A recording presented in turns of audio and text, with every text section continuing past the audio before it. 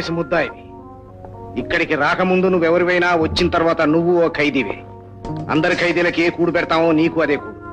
పారేశావు కనుక నీకు ఈ పూట పస్తే. నన్ను ఒక్క పూట పస్తు పెట్టావంటే నీకు జీవితాంతం పస్తే ఫూల్!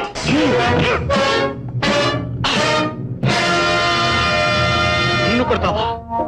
రాష్ట్రాన్ని ఎదురు లేకుండా చిటికిన వేల మీద ఆడిస్తున్న మురికిపూడి బంగారే కొడుకున్నారు మా బాబాయ్ టైగర్ భుజంగం పేరు చెప్తే కూడా నీళ్ళు ముట్టవు. నన్నే అవమానిస్తావా? నీ గతి ఏమవుతుందో చూడు. నోరు మూసుకుపడి లేకపోతే కాళ్ళు విరగొడతాను నా కాళ్ళు విరగొట్టం కాదు. నువ్వే నా కాళ్ళు పట్టుకోవాల్సి వస్తుంది. రేపీ పాటికి స్వయంగా నీ చేతులతోనే విడుదల చేస్తావు. బుట్టలో చిక్కుకున్న పాము నీ వల్ల ఏమవుతుంది? బుట్టలో చిక్కిన బుట్టలో చుట్ట చుట్టుకుని పడుకుని ఉన్న నాగుబాము నాగుబామే. గుర్తుంచుకో. నీలాంటి విషనాగుల కూరలు పీకడానికే చట్టం అంటూ ఒకటి ఉంది టైగర్ బాబు గారా? నమస్కారం అండి. నేనండి. కానిస్టేబుల్ కనకరాజనండి. ఇక్కడ జైలర్ గారు చెన్నై గారిని కుట్టేస్తున్నారండి. ఈ ఊళ్ళో స్కూల్ ఎక్కడుందండి? స్కూలా? స్కూల్ వేరే ఎక్కడుందమ్మా? పక్క వీధిలో రావి చెట్టు కిందే. అది సరే స్కూల్తో నీకేం పనమ్మా? ఈ ఊరు స్కూల్లో టీచర్గా నాకు ఉద్యోగం వచ్చింది. జాయిన్ అవడానికి వచ్చాను. వయసులో ఉన్న ఆడపిల్లవి ఈ ఊళ్ళో ఉద్యోగానికి వచ్చావా అమ్మా? ఏమిటి తాత? నువ్వు అనేది నాకు అర్థం కావడం లేదు. అదు టైగర్ భుజంగం పారిపోమ్మా పారిపో.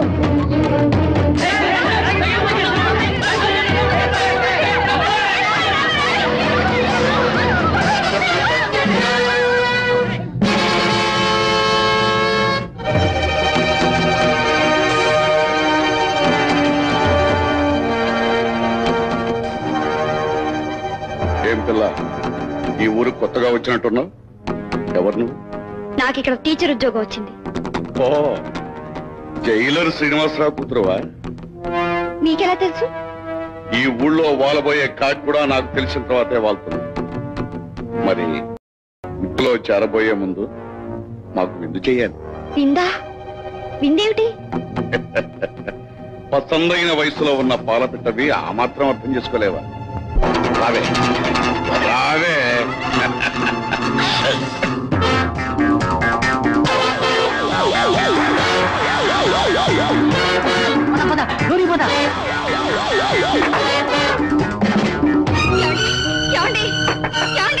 తలుపులు తీయండి. ఏమండి ఏమండి?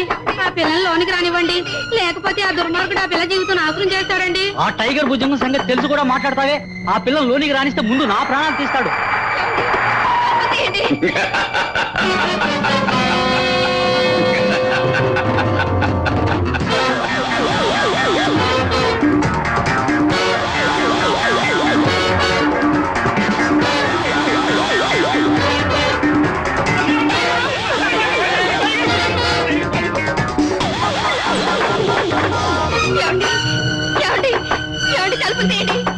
ఇంట్లోకి రానిస్తే ఆ టైగర్ భుజంగం మా ప్రాణాలు తీస్తాడు.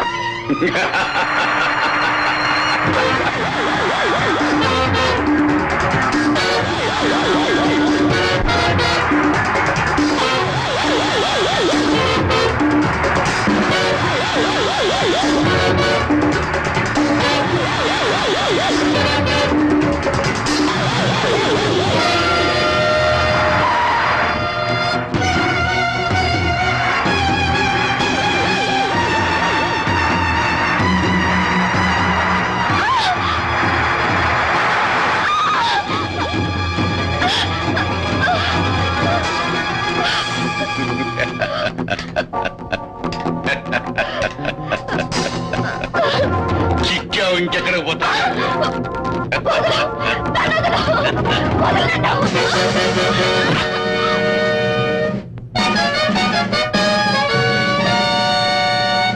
ఎవరో నువ్వు?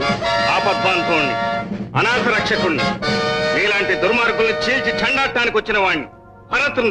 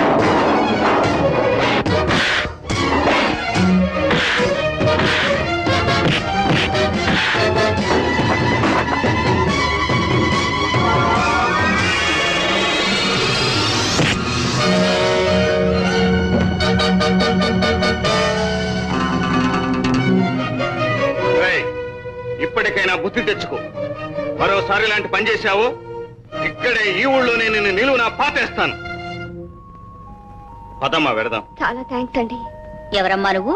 మాది హైదరాబాద్ అండి. ఈ ఊళ్ళో స్కూల్ టీచర్ ఉద్యోగం కోసం వచ్చాను. మరి ఉద్యోగంలో చేరతావా? లేదండి. ఇంత జరిగాక ఈ ఊళ్ళో ఉద్యోగం చేయలేను. మేము హైదరాబాదే వెళ్తున్నాం. మాతో పట్టేరా సమయానికి దేవుళ్ళ వచ్చారు. లేకపోతే ఈ బిడ్డగతి ఏమైపోయేదు? ఏమయ్యా? సిగ్గులేదు మీకు ఇప్పుడొచ్చి పరామర్శిస్తున్నారు. నడిబజార్లో ఒక ఆడపిల్ల నా రాక్షసుడు అలా వేటాడుతుంటే ఇంతసేపు సోద్యం చూస్తున్నారా? ఇదే మీ బిడ్డ అయితే ఇలా చూస్తూ ఊరుకుంటారా? ఏమైనా మేము చేయగలిగింది ఏమీ లేదమ్మా. నోరెత్తి మా కాళ్ళు ఇరిగిపోతాయి మా కొంపలు తగలడిపోతాయి. నిరంతరం భయం భయంగా బ్రతికేడుస్తున్న అభాగ్యులం మా వీళ్ళు తల వంచుకుని ఇచ్చే బ్రతుక్కన్నా తల ఎత్తుకుని సాధించే మృత్యువే గొప్పదని ఏ రోజున వీళ్ళు తెలుసుకుంటారు? ఆ రోజే పెత్తందారుల అధికారానికి స్వస్తి ఈ దేశానికి విముక్తి. పదమ్మ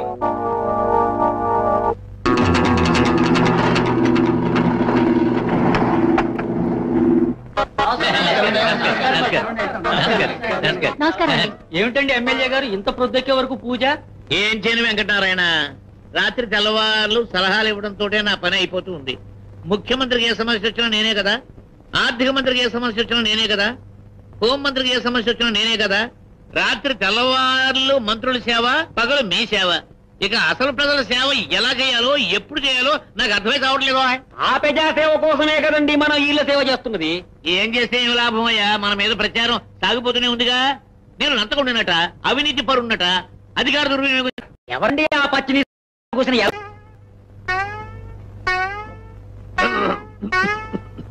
కూస్తారు కూస్తారు. ప్రతిపక్షాలకి అంతకంటే పనే ఉంది. అయినా లంచం లంచం అంటారు. లంచం అంటే ఏమిటో వందలకు వందలు పోసి ఓట్లు కొంటున్నాం. లక్షలకు లక్షలు ఖర్చు పెడుతున్నాం. జనం ఓట్లు అమ్ముకోవడంలో తప్పు లేదు కానీ మన పెట్టుబడి మనం రాబట్టుకోవడం తప్ప ఓటు అమ్ముకునే హక్కు వాళ్ళకుంటే కొనుక్కునే హక్కు మనకుంటుంది. వాళ్ళు ఓట్లు అమ్ముకున్నంత కాలం మనం సంపాదించుకుంటూనే ఉంటాం. అయినా అందులో తినేసింది ఏముంది? ప్రజల దగ్గర డబ్బు తీసుకుంటున్నాం. మళ్ళీ ఎలక్షన్లో వాళ్ళకే ఇచ్చేస్తున్నాం. ఇందులో తినేసింది ఏమి కనపడదే? ఏ ఏ, ఏమయ్యా మాట్లాడరు? అవునండి. ఆ, ఆ. అంతే నువ్వు ఇప్పుడు ఇవ్వడానికి వచ్చావు? అది చెప్పు చిన్న పని అండి సిమెంట్ యాభై వేలు బస్తాలు. Come on come on.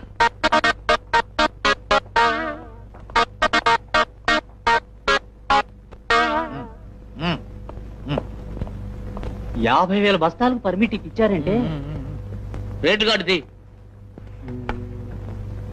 RTO రేట్లు సిటీఓ రేట్లు ట్రాన్స్ఫర్ రేట్లు. అవన్నీ ఎందుకు? సిమెంట్ రేట్లు చూడు. సిమెంట్ సిమెంట్ సిమ్- సిమెంట్ రేట్లు అండయా అయా బత్తాకు ఐదు రూపాయల కమిషన్ చొప్పున రెండున్నర లక్షలు అయిపోద్దన్నయా అదేమిటి పిఏ గారు?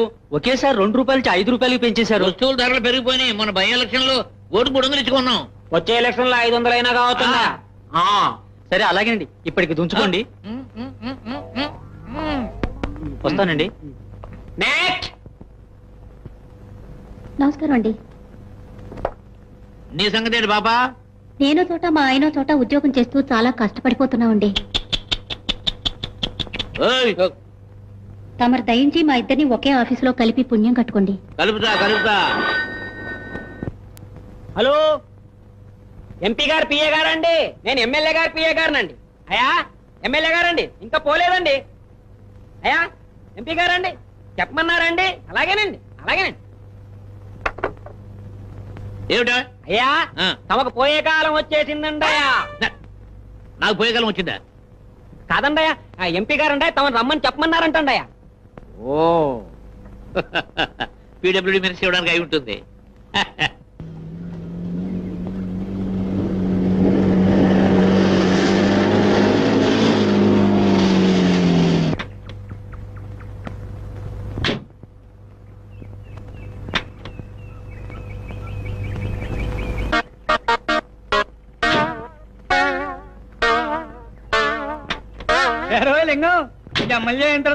మాట్లాడమే మానేసేవారా?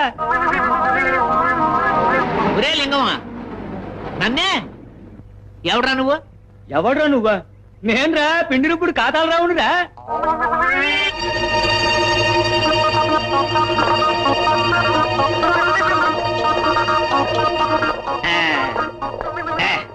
ఎరా లింగం.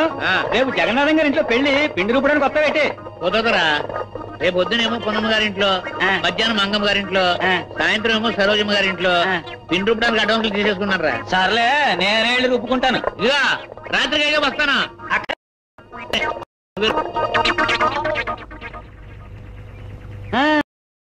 మాడదేరా హ్మ్, హ్మ్, హ్మ్. నాకు అవతల అర్జెంట్ పని ఉంది.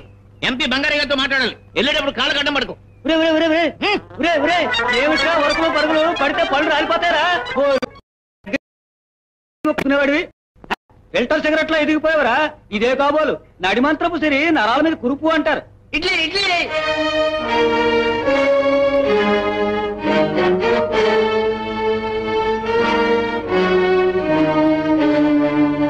నాగరాజు ఎక్కడ?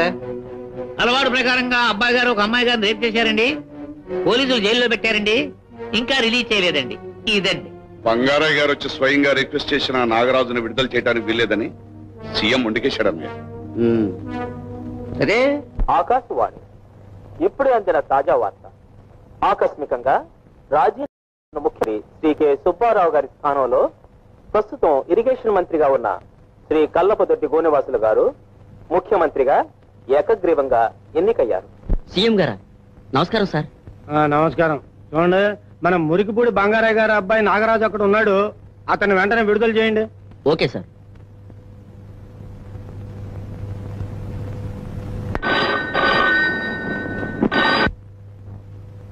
Hello jailer Srinivasa Rao speaking.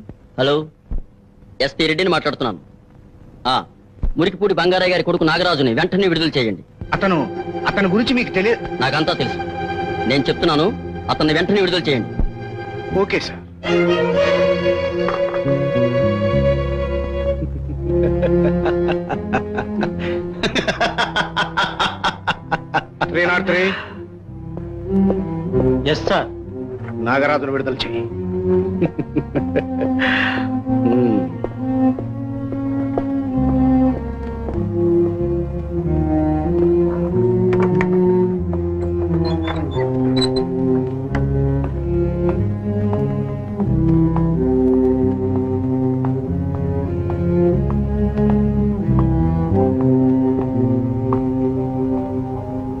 మరీ దిగులుగా ఉన్నావు.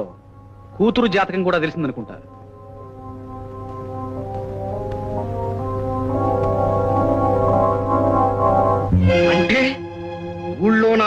జరిగిన పరాభవం నీ పన్నాగేమన్నమాట చెప్పు.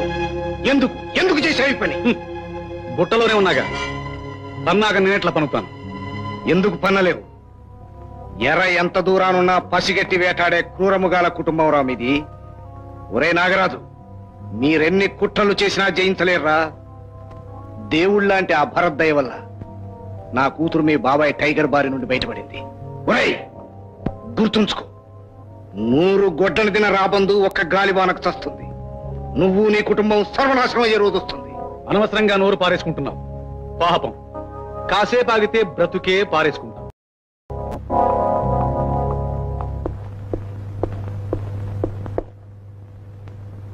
హెడ్ ఆఫీస్ నుంచి మీకు లెటర్ సార్.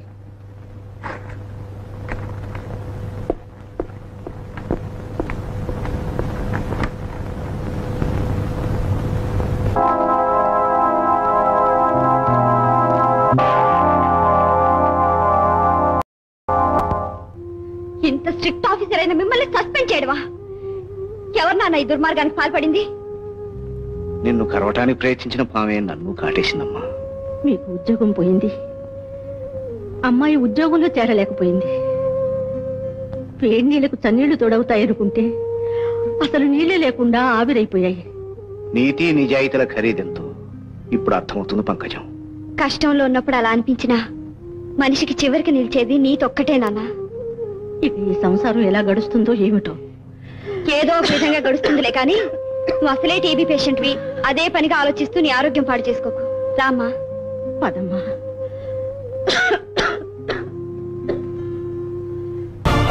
కుళ్ళిపోయింది బాబు. ఏ జాతికైనా నీతి నిజాయితీలే వెన్నెముక. కాని స్వార్థపరులు నీచులు ఆ వెన్నెముకనే విరక్కొట్టారు. ఈ దేశాన్ని ఎలా బాగు చేస్తారు? ఆ బాధ్యత నీలాంటి యువకులది. నువ్వు ఉగ్గుపాలతో రంగరించి పోసిన ధైర్యంతో పెరిగినవాణ్ణి. సాహసమే ఊపిరిగా సమసమాజ స్థాపనే లక్ష్యంగా సాగిపోతానమ్మా.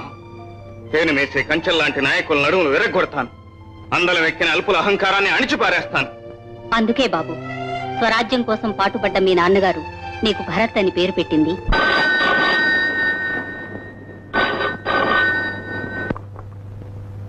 Hello doctor Aparna speaking. ఏమిటి? ఓ ఆడపిల్ల సౌమా. పంచనామా పూర్తయి పోస్ట్ మార్టం రెడీగా ఉందా? ఓకే ఇప్పుడే బయలుదేరుతున్నాను. భరత్ నేను హాస్పిటల్కి వెళ్ళొస్తాను. అలాగేనమ్మా. నేను హాస్పిటల్లో డ్రాప్ చేసి నేను మా ఫ్యాక్టరీకి వెళ్తాను. ఉమ్.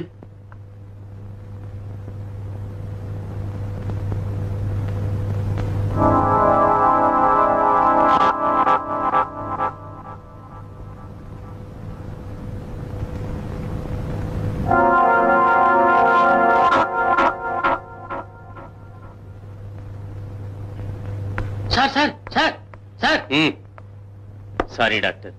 మీ పర్మిషన్ లేకుండా లోపలికి వచ్చినందుకు క్షమించాలి. ఈ రిపోర్ట్ రాసే వరకు మీరు వెయిటింగ్ రూమ్లో కూర్చోండి. నేను వచ్చిందే మీరు కరెక్ట్ రిపోర్ట్ రాయకుండా ఆపడానికి డాక్టర్. ఓహో ఆ పిల్ల మీకేం కావాలి? వాడాలండి. మా వాడు ప్రేమించి పెళ్ళి చేసుకున్నాడు. పైసా కట్నం తేకపోయినా ఎంతో ఆప్యాయతగా చూసుకునేవాడు. కానీ ఏం చేస్తాం? దురదృష్టం. ఆ అమ్మాయికి విపరీతమైన కడుపును తట్టుకోలేక ఆత్మహత్య చేసుకు అబద్ధం. ఆత్మహత్య కాదు. హత్య. గొంతులు చంపేశారు. అమ్మమ్మ అలా మీరు రిపోర్ట్ రాస్తే ఈ కోటీశ్వరుడు గోవర్ధన్ రావు పరువు బజారున పడుతుంది. అందుకే ఈ పరువు తీసుకుని నా పరువు కాపాడండి. లక్ష!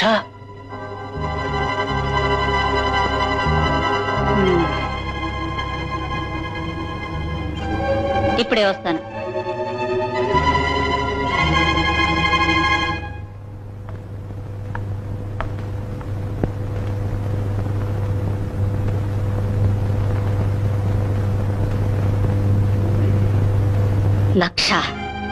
ఈ లంచం తీసుకుని మీ పాపంలో నేను కూడా భాగం పంచుకోవాలా?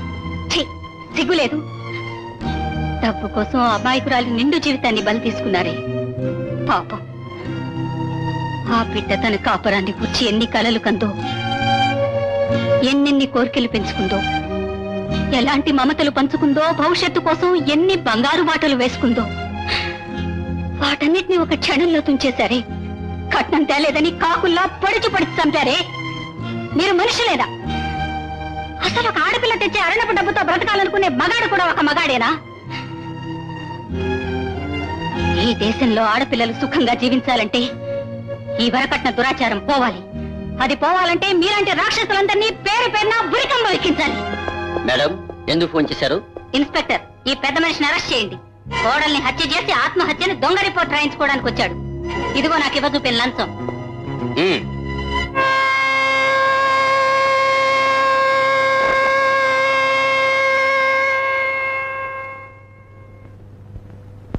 Good morning sir.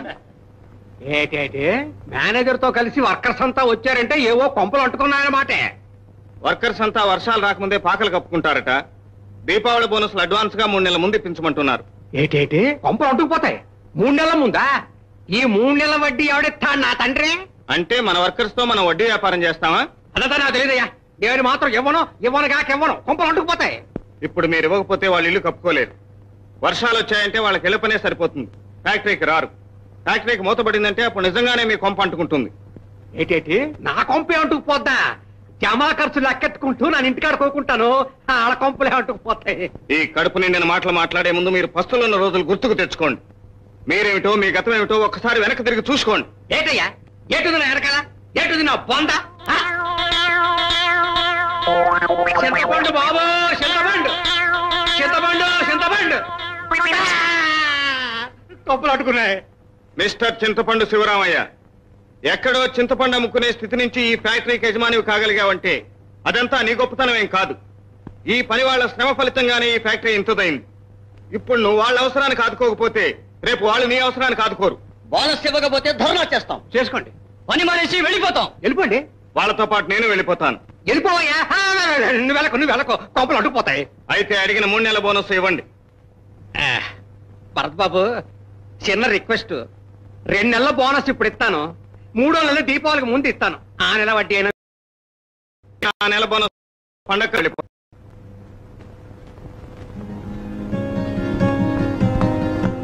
Good morning sir good morning కూర్చో. చైతన్య ఈ రోజు నుంచి నేను చీఫ్ రిపోర్టర్గా ప్రమోట్ చేస్తున్నాను. అదేమిటి సార్ నాకంటే చాలా మంది సీనియర్ రిపోర్టర్స్ ఉండగా జనం నిద్రలేవు గాని నేటి నిజం చదవకుండా కాఫీ కూడా తాగడం లేదంటే? అందుకు నీ రిపోర్ట్సే కారణం. ఈ గొప్పంతా నీదేనమ్మా అంతా మీ ట్రైనింగే సార్. నా ట్రైనింగ్ మాత్రమే కాదమ్మా. మీ నాన్నగారి వారసత్వం కూడా ఉంది. సరే any important news today doctor అప్పని ఈ రోజు ఒక పోస్ట్ మార్టం చేసింది. అది వరకట్నపు చావట. ఆ పిల్లకి సంబంధించిన అతను ఎవరో వచ్చి లంచం ఇవ్వకపోతే ఎవరు? ఆ వివరాన్ని ఆవిడ అడిగి తెలుసుకుని మీకు కరెక్ట్ రిపోర్ట్ చెప్తాను. ఆ రోగ్ పేరు గోవర్ధన్ రావు. కట్నం కోసం కోడల్ని హత్య చేసి ఆత్మహత్యని రిపోర్ట్ రాయించుకోవడానికి వచ్చాడు. లక్ష రూపాయలు లంచంగా కూడా ఇవ్వచూపాడు. అందుకే వాడిని రెడ్ హ్యాండెడ్గా అరెస్ట్ చేయించాను. మంచి పని చేశారు డాక్టర్. స్త్రీ సంక్షేమం కోసం ముఖ్యంగా వరకట్న దురాచారానికి వ్యతిరేకంగా సాగిస్తున్న మీ పోరాటం నిజంగా మెచ్చుకోదగింది. ఈ సంఘటనను మా పత్రికలో ప్రముఖంగా ప్రచురిస్తాం. థ్యాంక్ యూ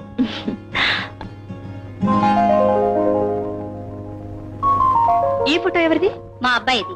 సిఎస్ఆర్ కాటన్ మిల్స్లో మేనేజర్గా పనిచేస్తున్నాడు. ఓ అయితే అక్కడ తప్పకుండా వెళ్ళాల్సిందే. అక్కడే పందుకొక్కులు ఉన్నాయో మీ అబ్బాయి గారిని అడిగి తెలుసుకోవచ్చు.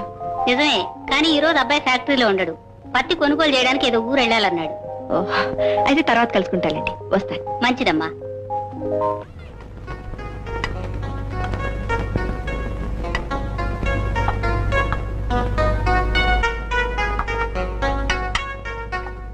అన్నట్టు చెప్పడం మర్చాను. ఇందాక నీకోసం లలిత వచ్చి వెళ్ళిందమ్మా. ఏం చెప్పింది? నీతో ఏదో చాలా అర్జెంట్గా మాట్లాడాలంది. అర్జెంటుగానా నేను ఇప్పుడే వస్తాను. అమ్మా. ఇప్పుడే వస్తాను. చైతన్య! అమ్మా చైతన్య! అమ్మా!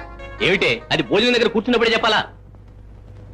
ఇంత ఘోరం జరిగాక ఇంకా ఆ ఊళ్ళో ఉద్యోగం ఎలా చేయని చెప్పు చైతన్య. అంటే?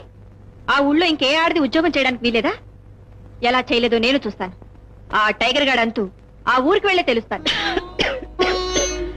ఎందుకమ్మా?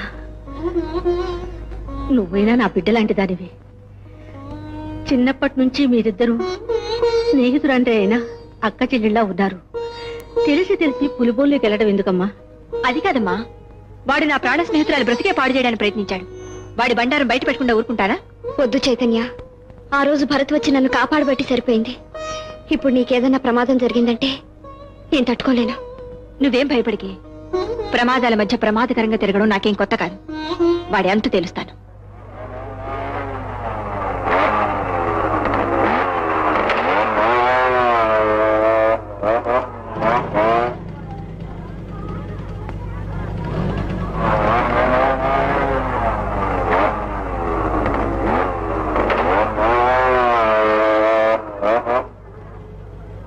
టైగర్ భుజంగం గారి ఇల్లు ఎక్కడో తెలుసా అండి? ఎందుకమ్మా? మొన్న టీచర్ ఉద్యోగానికి వచ్చిన ఒక అమ్మాయిని పరాభవించబోయట. ఆ దుశ్శాసనుడికి బుద్ధి చెప్పాలి. వాడు దుశ్శాసుడేనమ్మా ఈ ఊరంతా కౌరవ సభే నోరు మూసుకుని తలలు వంచుకుని పడుంటుంది కానీ ఆనాడు ద్రౌపదిని కృష్ణుడు కాపాడాడు. ఈనాడు నువ్వు వాడిని ఎదుర్కొంటే ఏ కృష్ణుడు కాపాడగలడమ్మా? మీలాంటి వాళ్ళు అలా మాట్లాడితే ఎలా అండి? ఇన్ని దుర్మార్గాలు జరుగుతుంటే చూస్తూ ఊరుకుంటారా ఊరుకోక ఏం చేయగలను తల్లి. ఒకప్పుడు నేను నీలాగే ఎదిరించాను. ఒక ఆడకూలను చెరిచినందుకు రిపోర్ట్ ఇస్తానన్నాను. అందుకు ఫలితం.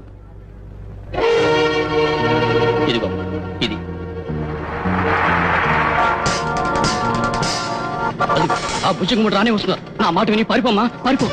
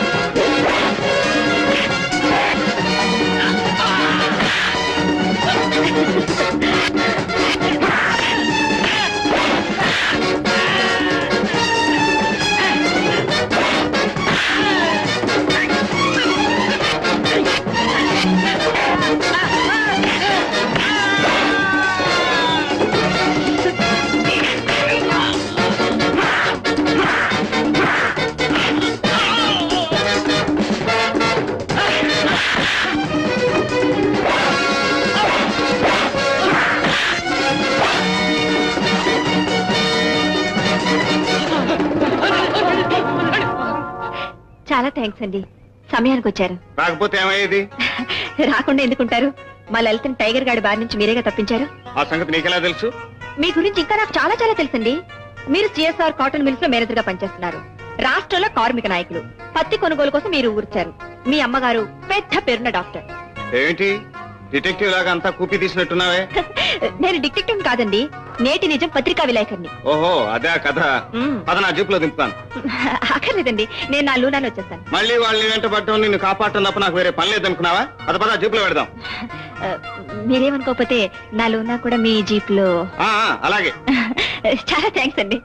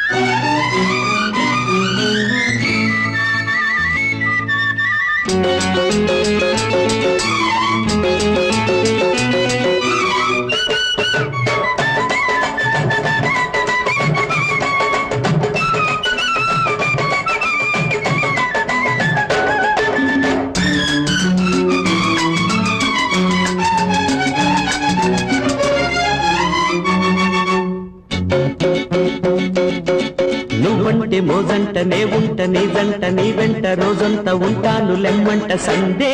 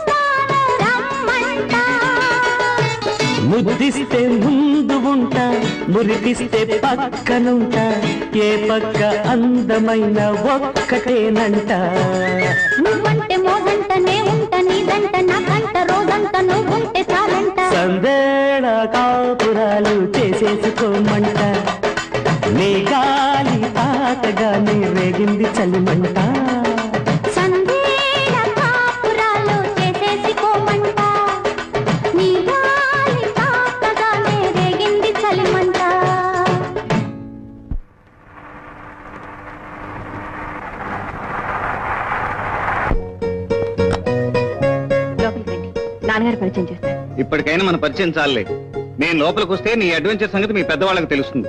అనవసరంగా వాళ్ళ కంగారు పెట్టేందుకు నేను వస్తాను.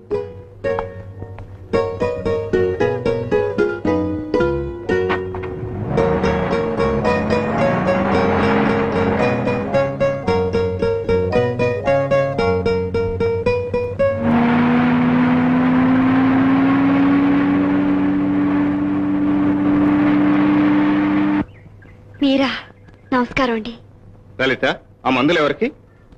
మా అమ్మగారికి. అలాగా. రా జీప్ ఎక్కి ఇంటి దగ్గర దింపుతాను. ఎందుకులేండి? నడిచే వెళ్తాను. పర్వాలేదురా.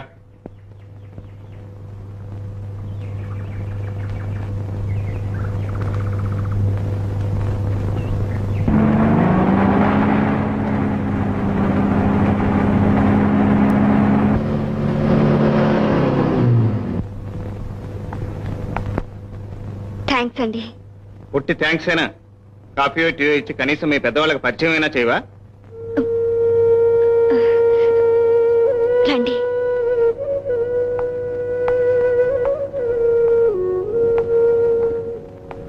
నాన్న ఆ రోజు నన్ను కాపాడారని చెప్పానే వీరే భరత్ గారు.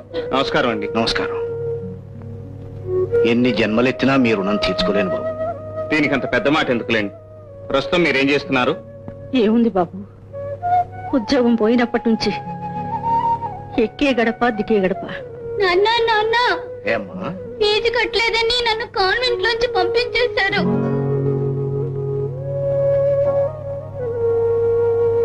సరే ఆ సంగతి తర్వాత చూద్దాం. నువ్వు వెళ్ళు. పాపా ఏ కాన్వెంట్లో చదువుతున్నావమ్మా? శారదా కాన్వెంట్ లోనండి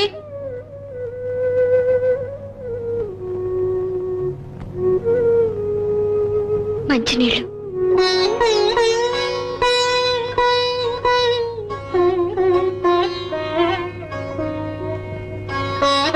వస్తాను. వస్తానండి.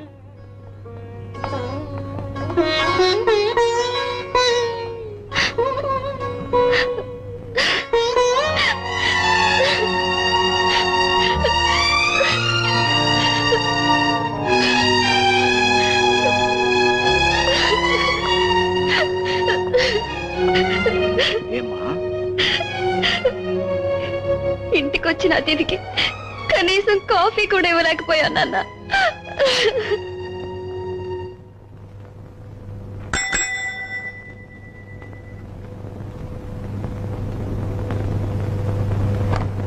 ఇదిగో అర్జెంటుగా తీసుకెళ్ళి ప్రెస్ లేవు.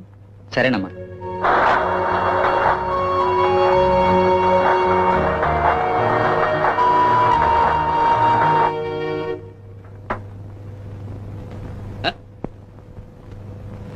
రే అప్పలకొండ నీ ఉద్యోగం ఊడిందని విన్నాను. లంచం తీసుకున్నానని పీకేశారు బాబు. మళ్ళీ డ్యూటీలో ఉన్నావేంటి? లంచం ఇచ్చి చేరిపోరానండి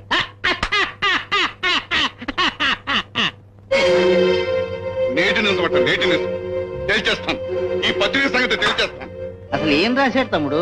ఏం రాస్తాడో నువ్వే చూడు లింగం చదువు. అభినవ దుశ్శాసనుడు టైగర్ భుజంగం తోలువలసిన భరత్ శాసనం ఎవరని భరత్? ఉన్నాళ్ళే ఒక కార్మిక నాయకుడు. వాడు ఎవడైనా సరే నామరూపాలు ఎక్కడో చేసి పారేస్తాను ఆవేశపడకు తమ్ముడు. ఇంత చిన్న విషయానికి అంత కంగారు పడతావెందుకు రాజకీయాల్లో ఉన్న వాళ్ళకు ఓర్పు సహనం కావాలి. ఆ మన మీటింగ్లో ఒకడు నా మీదకి చెప్పించుకొచ్చాడు. కొట్టించుకున్నా. ముమ్మేశాడు. తుడి చేసుకున్నా అది నీ బుద్ధి. ఎదిరించిన వారిని యమలోకం పంపించడమే మా బాబాయ్ పద్ధతి. యమలోకానికి పంపిస్తున్నామని ఇప్పుడు జనానికి తెలిసిపోయింది రండి. ఈసారి ఎలక్షన్లో మనకి ఓట్లు కాదు నోట్లు ఉమ్మేస్తారు. ఏం కూర్చావు కుయటం కాదు రేపు సరిగ్గా జరగబోయేది అదే. ఈ వికాసరావు లాంటి చోట్ల పార్టీ సెక్రటరీ అయితే అంతే మరి. అన్నయ్య ముందు వాడిని పార్టీ నుంచి పీకేసే ఆయన కాదు ముందు పార్టీ నుంచి బహిష్కరించాల్సింది మిమ్మల్ని. తమ్ముడు ఆగు వికాసరావు. నేను చెప్పినట్టు చెయ్యి. ఆ భరత్ ఒక రౌడీ అని ఒక అమ్మాయి వెంటబడి బలాత్కారం చేస్తుంటే మా భుజంగం ఆ అమ్మాయిని కాపాడాడని దీన్ని ప్రతిపక్షాలు వక్రంగా చిత్రిస్తున్నాయని పేపర్లో స్టేట్మెంట్ ఇచ్చి. అలాంటి బోగస్ స్టేట్మెంట్ నేను ఇవ్వను. కానీ ఒక్క మాట బంగారయ్య గారు దీని వల్ల పార్టీకి జరగబోయే నష్టానికి మాత్రం బాధ్యులు మీరే. మంచి మాటలు మనుషులకు చెప్పాలి. వీళ్ళకి కాదు. రండి వెళ్దాం. దీన్ని బట్టి చూస్తే వికాసరావు మన పార్టీలో మనకు వ్యతిరేక వర్గాన్ని సృష్టిస్తున్నాడన్న మాట.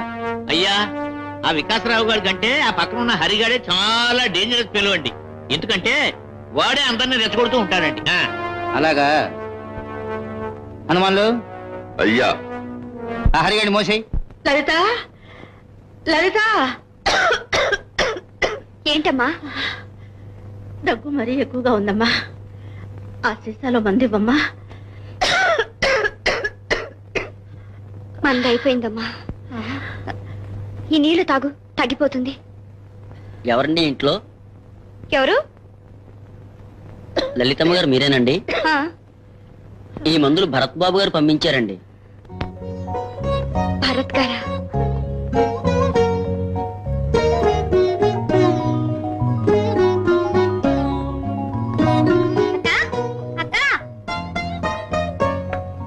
ఏమిటే? నా ఫీజు కట్టేశాను. ఫీజు కట్టేశావా? డబ్బెక్కడిది మొన్న మన ఇంటికి తీసుకొచ్చావే. ఆ అంకులు కట్టేశారు.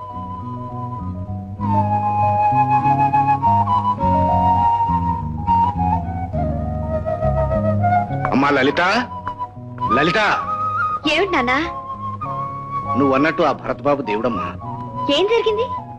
వాళ్ళ కాటన్ మిల్ సెక్యూరిటీ సెక్షన్లో నాకు ఉద్యోగం ఇప్పించాడు.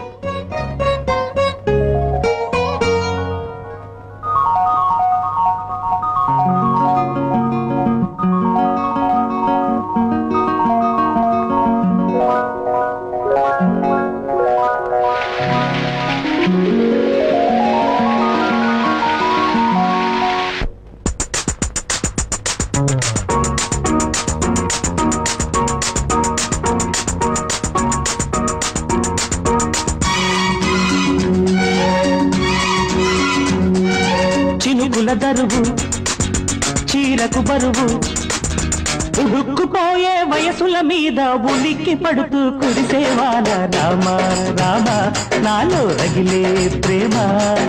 రామ రామ నాలో రగిలే ప్రేమ.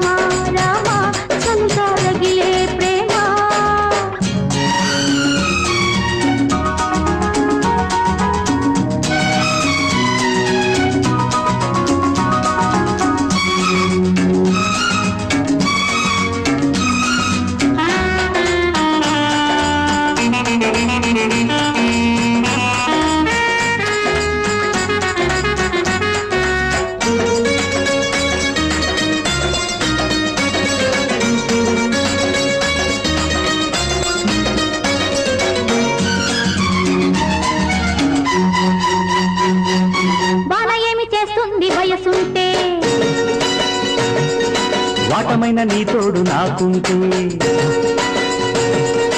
గాలి ఏమి చేస్తుంది ఇద్దరుంటే? కౌగిళ్ళలో నలిగి చస్తుంటే.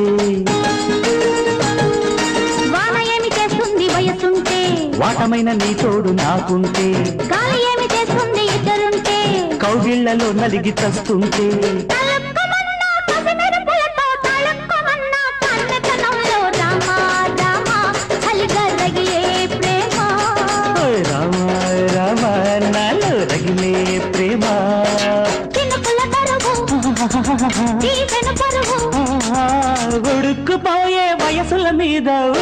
ఉలికి పడుతూ కురిసేవాన రామ రామ నాలో రగిలే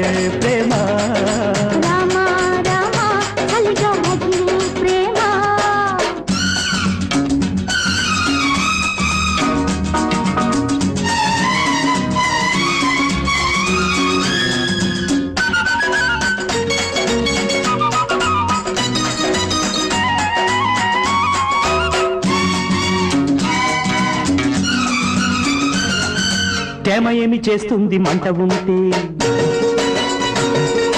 మంట కాని మంటని జంట ఉంటే? చల్లు ఏమి చేస్తుంది అల్లుకుంటే? అల్లుడయ్యే లక్షణాలు నీకుంటే? ఆరు ప్రేమ ఏమి చేస్తుంది మంట ఉంటే? మంట కాని మంటని జంట ఉంటే? అరే జల్లు ఏమి చేస్తుంది అల్లుకుంటే? అల్లుడయ్యే లక్షణాలు నీకుంటే? చురుక్కుమన్న పరువాలన్నీ చినుక్కి బుద్ధి చెబుతూ ఉంటే రామ రామ నాలో రగిలే ప్రేమ.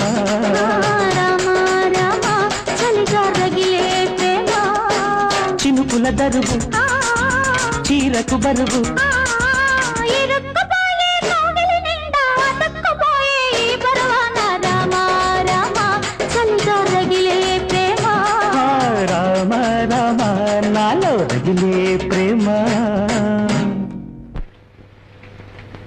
లలిత? జల్లు పడుతుంటే ఇలా కూర్చున్నావేమ్మా ఏం లేదమ్మా.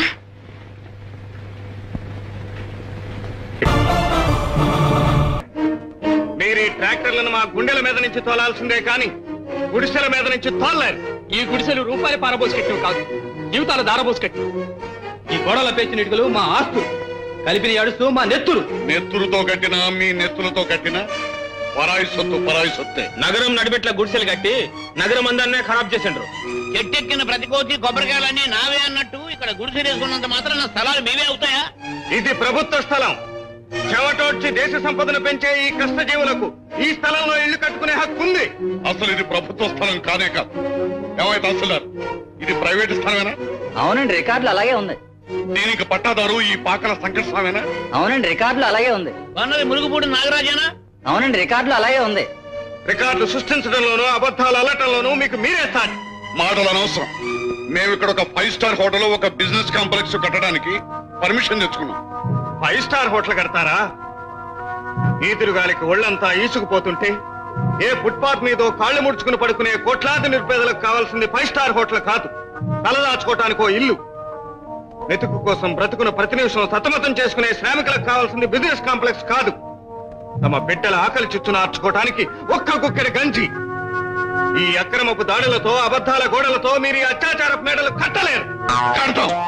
అడ్డం వచ్చిన వాళ్ళని పునాదులోనే పూడ్చి పెడతాం. ఎవరిని పూడుస్తారా? తమ కండలు కరిగించి కర్మాగారాలు నడిపించే ఈ కార్మికులనా? అహోరాత్రులు అలమటించి మీ కడుపులు నింపే కర్షకులనా? ఈ దౌర్జన్యాలు ఇలాగే కొనసాగితే ఒకనాటికి వాళ్ళ ఓర్పు నశిస్తుంది. ఆ రోజున ఈ అభాగ్యుల ఆశలు కొడిగట్టిన రోజున ఈ కర్మవీరుల కన్నీళ్ళు ఇంకిపోయిన రోజున వాళ్ళ గుండెల్లో గూడు కట్టుకున్న పౌరుషం రేగి రేగి చెలరేగిన చంద్రనిపై వెయ్యి అగ్ని పర్వతాల అలా ప్రవహించి మిమ్మల్ని మార్చి మార్చి మసి చేస్తుంది చూస్తారా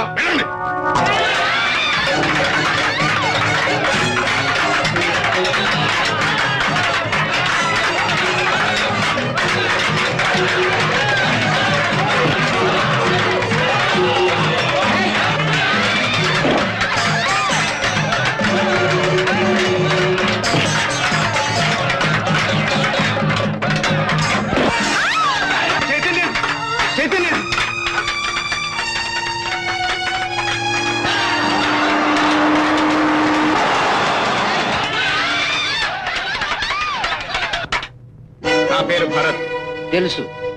సిఎస్ఆర్ కాటన్ మిల్స్ మేనేజర్గా పనిచేస్తున్నాను. అది తెలుసు. అంతేకాదు నువ్వు కార్మిక నాయకుడు అని కూడా తెలుసు. ఇందుకు నువ్వు వచ్చిన సంగతి ఏంటి? ఇన్ని తెలిసిన వాళ్ళకి అది మాత్రం తెలియకుండా ఉంటుందా? మీరే చెప్పండి. మీ వాళ్ళు చేసింది న్యాయంగా ఉందా? న్యాయం అని రికార్డ్స్ చెబుతున్నాయి. చేతిలో ఉద్యోగస్తులు ఉన్నారు కదా అని దొంగ కాగితాలు సృష్టించి ప్రభుత్వ స్థలాలను ప్రైవేటు వ్యక్తులకు కట్టబెట్టడం న్యాయమా?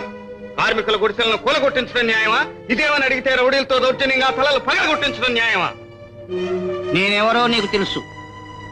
ఈ వ్యవహారంలో నా కుటుంబ సభ్యులకు సంబంధం ఉన్న సంగతి కూడా నీకు తెలుసు. అయినా ఇంత ధైర్యంగా నన్ను నిలదీసి అడుగుతున్నావంటే నీ సాహసానికి మెచ్చుకుంటున్నాను. నేను వచ్చింది మీ మెప్పు పొందడానికి కాదు. మిమ్మల్ని హెచ్చరించడానికి ప్రజలకు మంచి చేయటం కోసం. అవసరమైతే తన క్షేమాన్ని తన కుటుంబ క్షేమాన్ని త్యాగం చేయగలిగిన వాడే నిజమైన ప్రజానాయకుడు. అంతేకాని తన స్వార్థం కోసం తన కుటుంబ సంపద పెంచుకోవడం కోసం ప్రజల క్షేమాన్ని తుంచేవాడు ప్రజాద్రోహి. ఇది అర్థం చేసుకుని మీ రాజకీయం నడపండి. ప్రభుత్వాన్ని ముందుకు నడిపించండి. లేదా భవిష్యత్తు మిమ్మల్ని క్షమించదు. వస్తాం. మీ ఆవిడ పర్వాలేదు sir. She will be all right అదే మీ ఆవిడ పర్వాలేదు అంటున్నాను.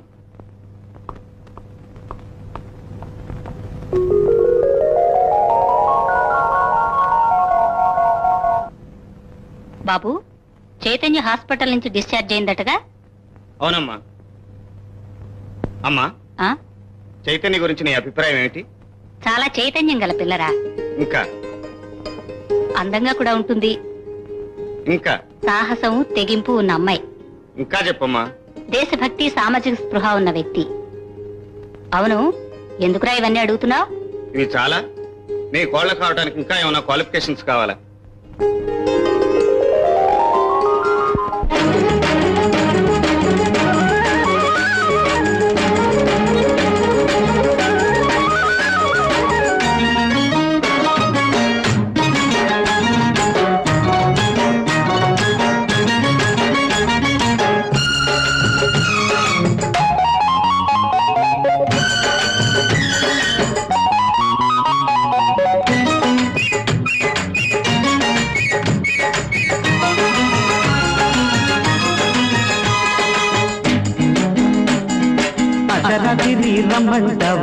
ఎట్ట?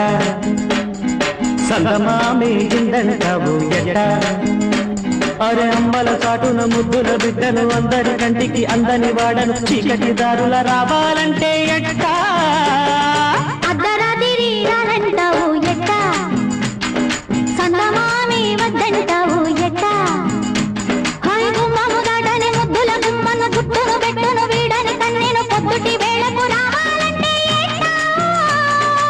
అర్ధరాత్రి రమ్మంటావు ఎట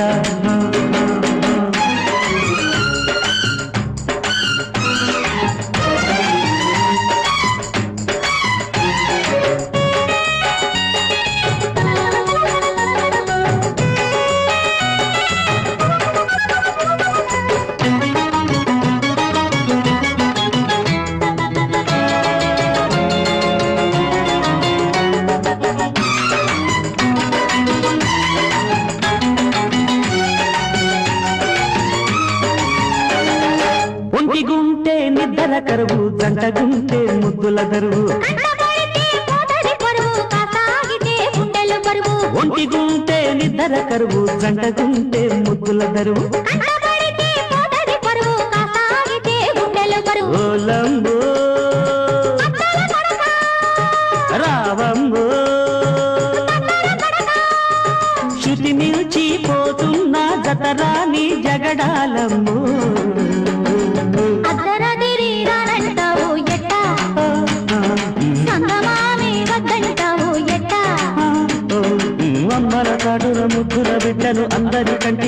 వాడను చీకటి దారుల రావాలంటే ఎట్టా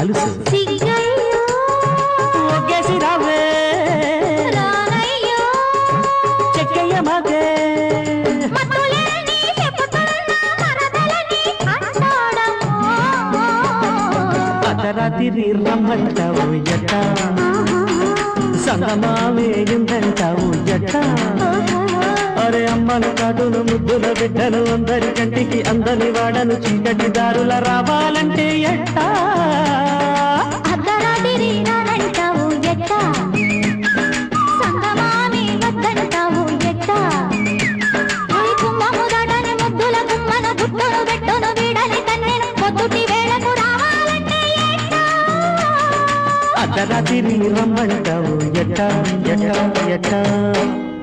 మీ భర్త ఆ టైగర్ గాడికి బాగా బుద్ధి చెప్పాడటగా?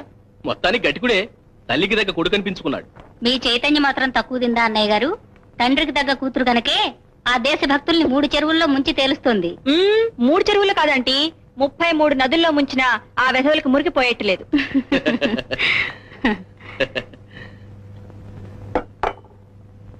అరేరే ఏమిటిదంతా? పర్వాలేదు. తీసుకోండి డాక్టర్మ్మ గారు అది కాదు. అసలు అలా తినడానికి వీల్లేదు. కతికితే అతకదంటారు కదా అందుకని. అంటే? అంటే ఏముంది వదిన గారు?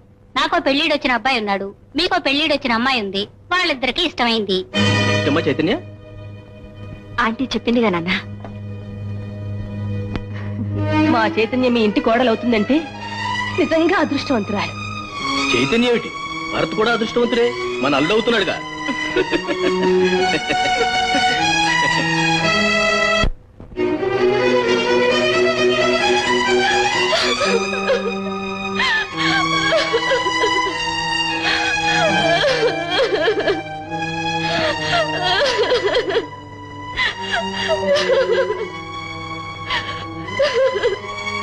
లలిత? లలిత? ఏమిటమ్మా? ఏం జరిగింది? ఏమిటమ్మా? ఏం జరిగిందో చెప్పు. అమ్మా భరత్ వివాహం చైతన్యతో నిశ్చయమైంది. అందుకు నువ్వు విచారిస్తున్నావా?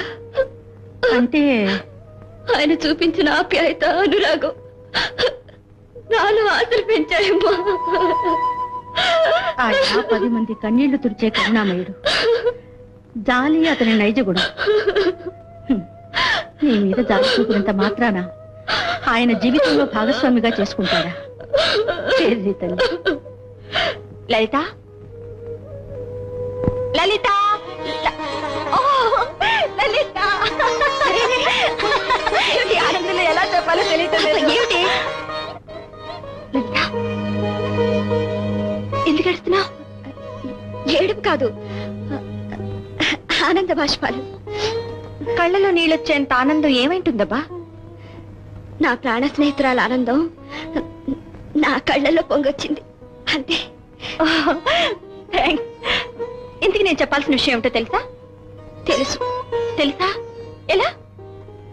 నీ మనసు నా మనసు ఒక్కటైనప్పుడు చెప్పుకోకపోయినా తెలిసిపోతుంది కదా.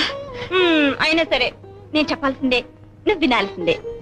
నేనే చెబుతానని పోటీకేం రాలేవే పోటీకి వచ్చినా గెలుపు నాదే అవుతుందిగా? నేను ఎప్పుడూ నిన్ను గెలిపిస్తూనే ఉంటానే. నీ ఆనందమే నా ఆనందం. అందుకోసం ఓడిపోవడమే కాదు నా ప్రాణమైన ధారపోస్తాను. ఏమైనా చేస్తాను. పిచ్చి పిచ్చి పిచ్చి లలిత. నీ మనసు నాకు తెలిసే. అందుకే ఈ శుభవార్త ముందుగా నీతో చెప్పాలని వచ్చాను. నాకు భరత్తో పెళ్ళి నిశ్చయమైంది.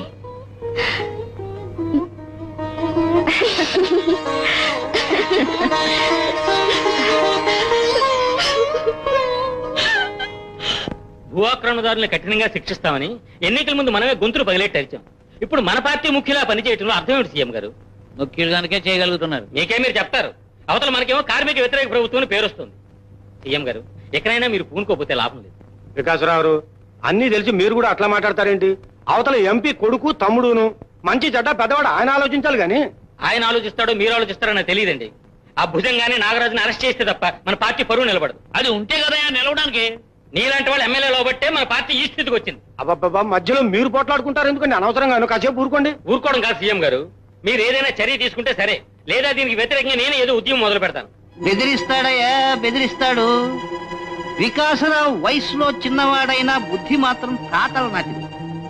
ఇంకా మంచి చెడు దయా దాక్షిణ్యం అని తాపత్రయపడుతూ ఉంటాడు. అతనికి ఒక సంతాన సభ ఏర్పాటు చేసి శిలా విగ్రహం ప్రతిష్టాపన చేద్దాం. అంటే అర్జెంట్గా మోసేయమంటారా అది నీ పని కాదు. లింగం నా పుట్టినరోజుకు ముఖ్యమంత్రి ఒక పార్టీ ఇస్తా అన్నాడు కదూ? ఆ పార్టీకి వికాసరావును తప్పకుండా పిలిపించే ఏర్పాట్లు నువ్వు చూడు మిగతా నేను చూసుకుంటా.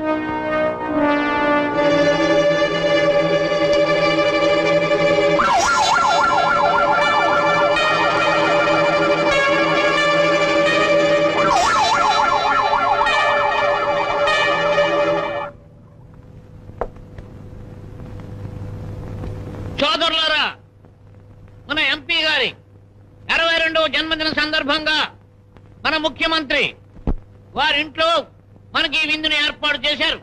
ఈ సందర్భంలో రాష్ట్ర ప్రజలందరి తరఫున ఎంపీ గారికి శుభాకాంక్షలు అందజేస్తూ వారింకా నూరు సంవత్సరాలు జీవించాలని ఆ భగవంతుని ప్రార్థిస్తూ ఉన్నాను.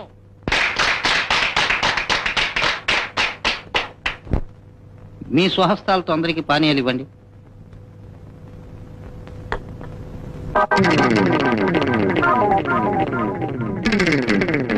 ముందు వికాసరావు గారికి ఇవ్వండి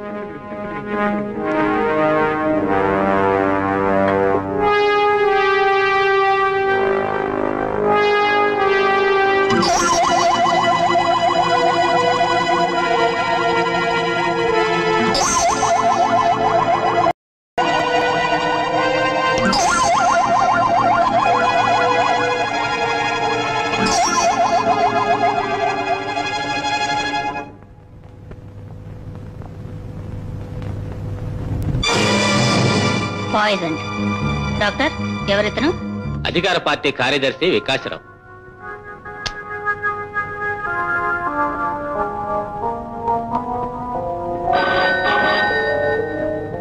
డాక్టర్ ఫోన్ ఏదో వచ్చింది చూడండి.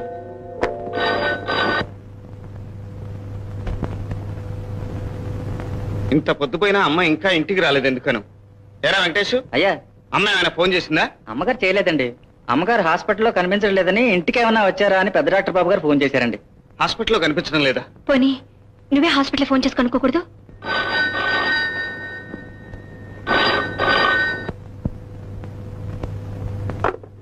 ఫోన్ రింగ్ అవుతుంది కానీ ఎవరూ తీయటం లేదు.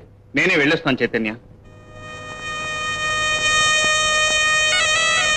వికాసరావు గారు అమరజీవులు. వారి శవం మీద ప్రమాణం చేసి చెబుతున్నాను. వారి మరణంతో పార్టీ వికాసాన్ని కోల్పోయింది విషాదంలో మునిగిపోయింది. పార్టీ కోసం ప్రజల కోసం నిరంతరం కృషి చేసిన ఆ మహానుభావుడిని అతి దారుణంగా ప్రతిపక్షాలు పొట్టలు పెట్టుకున్నాయి.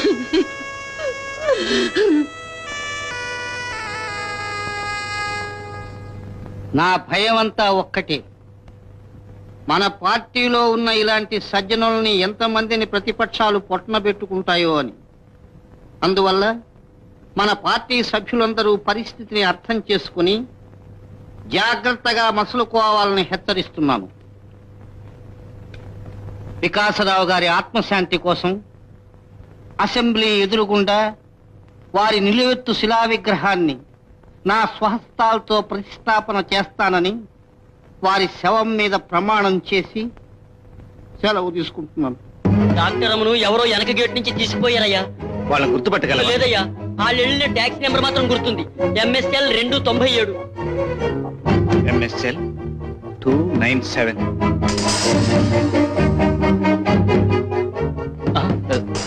ఇంతకు ముందు నీ టాక్సీలో డాక్టర్ అమ్మను ఎక్కడికి తీసుకెళ్ళావు? నేను తీసుకోలేదండి ఆ రౌడీ ముఠా బలవంతం అండి. సరే ఎక్కడ దింపావు? చిలకలు కూడా అర గోడం దగ్గరండి. చిలకలు కూడా అరగకూడదు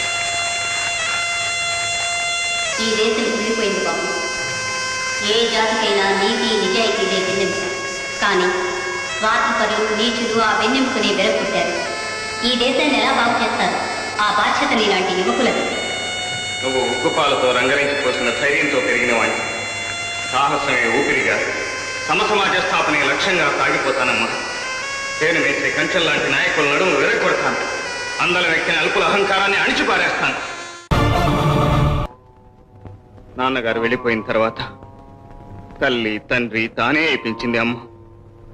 ఆ అమ్మ కూడా వెళ్ళిపోయింది చైతన్య. భౌతికంగా వెళ్ళిపోయింది కానీ ఆమె జీవిత సందేశం ఇంకా బ్రతికే ఉంది. మీ తల్లిదండ్రుల ఆశయాలు మీ రూపంలో జీవించి ఉన్నాయి. నా జీవితానికి ఒక లక్ష్యం బ్రతుకు ఒక బాట ఏర్పరిచిన పుణ్య దంపతులు మా అమ్మా నాన్న. వాళ్ళ సందేశాన్ని పాటిస్తాను వాళ్ళ ఆశయం కోసం పోరాడతాను. అమ్మ చావుకు కారణమైన వాళ్ళు కుక్క చావు తెచ్చేటట్టు చేస్తాను. అమ్మను చంపిన దుర్మార్గులు మనల్ని కూడా వెంటాడతారు. మనం ముందుగా మేలుకోవాలి. అవును. అసలు ఆ రోజున మార్చరీలో ఏం జరిగిందో తెలుసుకుంటే తప్ప మనం ఒక్క అడుగు కూడా ముందుకు వేయలేం. ఆ రోజు డాక్టర్ అప్పన్న పోస్ట్ మార్టం చేశారు. రిపోర్ట్ రాయడం కూడా ఆల్మోస్ట్ పూర్తయింది. అంతలో ఫోన్ మోగితే రిసీవ్ చేసుకోవడానికి వెళ్ళాను. ఫోన్ చేసింది ఎవరు? ఎమ్మెల్యే జంబులింగం గారు. ఫోన్లో ఏం మాట్లాడారు? అదే ఆ పోస్ట్ మార్టం సంగతే. వాళ్ళ పార్టీ కార్యకర్తలు ఏవేవో గొడవలు చేస్తున్నారని ఇంకా ఏదేదో ఫోన్లో చెప్పిందే చెప్తూ వచ్చాడు. నేను ఫోన్ పెట్టేసి లోపలికి వచ్చేసరికి డాక్టర్ అపర్ణ లేరు వారు రాసిన రిపోర్టు కనిపించలేదు. రిపోర్ట్ ఏం రాస్తారో మీకు తెలుసా? రిపోర్ట్ నేను చూడలేదు కానీ డాక్టర్ అపర్ణ ఏదో పాయిజన్ కేసు అనే చెప్పారు. మరి గొంతు నుండి చంపిన రిపోర్ట్ ఎవరు రాశారు? డాక్టర్ నీలకంఠం. డాక్టర్ నీలకంఠం నీలకంఠం గారు వికాసరావుని గురించి మీరు రాసిన తప్పుడు రిపోర్టు. మీ వృత్తికే ద్రోహం. నీతికి జాతికి దేశానికే ద్రోహం. నాకు తెలిసినంత వరకు మీరు లంచగొండి కాదు. మీకే ద్రోహేసనాలు లేవు. నిజం చెప్పండి. ఎందుకు ఇంత నీచానికి పాల్పడ్డారు? మా కుటుంబాన్ని సర్వనాశనం చేస్తామని బెదిరించి నాతో అలాంటి తప్పుడు రిపోర్ట్ రాయించారు మిస్టర్ భరత్. ఎవరు? టైగర్ భుజంగ ముఠ. చైతన్య ఆ భుజంగ ముఠా సంగతి నేను చూసుకుంటాను. నువ్వు వెళ్ళి బంగారం ఇంట్లో ఏం జరుగుతుందో కనిపెట్టు. ఓకే.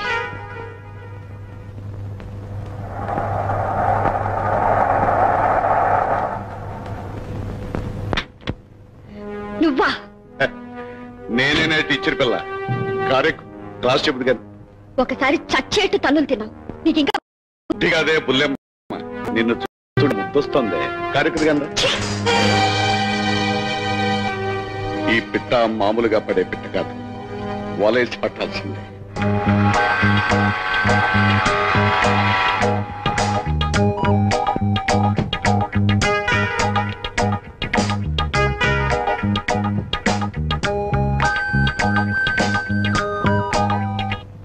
మీరు చెప్పిన సింగు కోసం వెళ్తే వాళ్ళ అమ్మ శివంగి ఎదురొచ్చి మా అమ్మాయికి సినిమా ఛాన్స్ వచ్చింది దాని భావం తీసుకుని చెన్నపట్నం వెళ్ళిపోయిందని చావు కబురు చల్లగా చెప్పింది.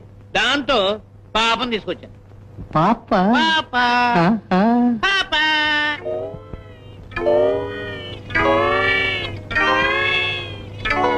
నమస్కారం బావగారు.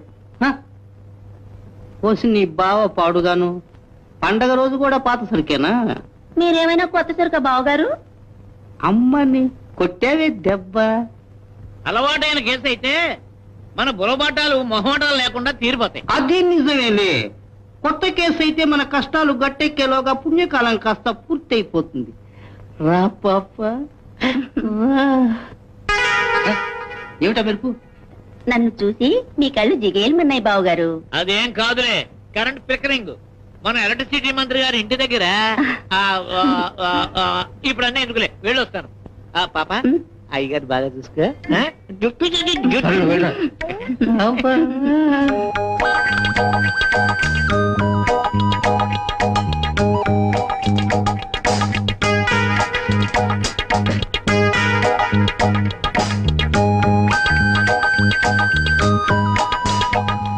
ఎంపీ గారు వస్తానన్నారుగా? రాలేదే?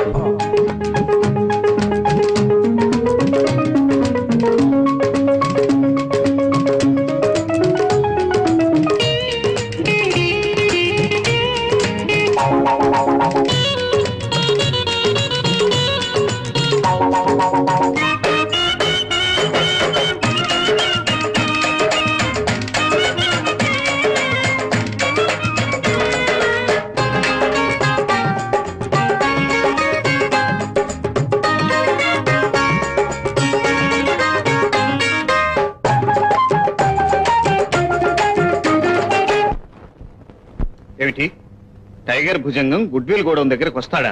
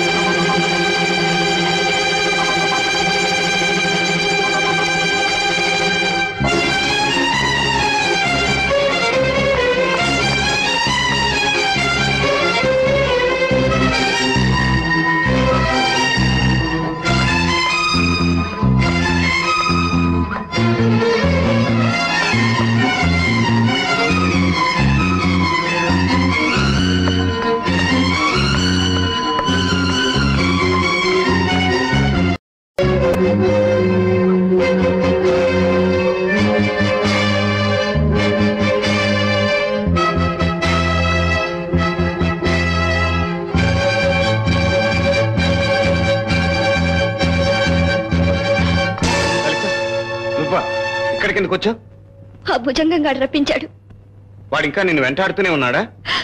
వెంటాడటమే కాదు. ఇప్పుడు భయంకరమైన పన్నాగం పన్నాడు. నా చెల్లెల్ని ఎక్కడో దాచేశాడు.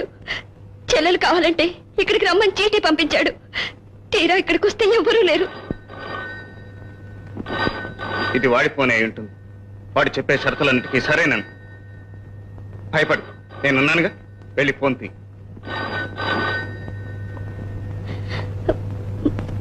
హలో? ఎవరో మాట్లాడేది? నేను లలితనే మాట్లాడుతున్నాను. ఇప్పుడు నీ చెల్లెలు నా దగ్గర ఉంది మాట్లాడవే. నువ్వు ఇక్కడికి రాకపోతే నన్ను చంపేస్తారక్క త్వరగా వచ్చేయక్క త్వరగా వచ్చేయక్క ఉమ్. విన్నావుగా? మరి వస్తావా? ఎక్కడికి రావాలి? పోచారం గెస్ట్ హౌస్కి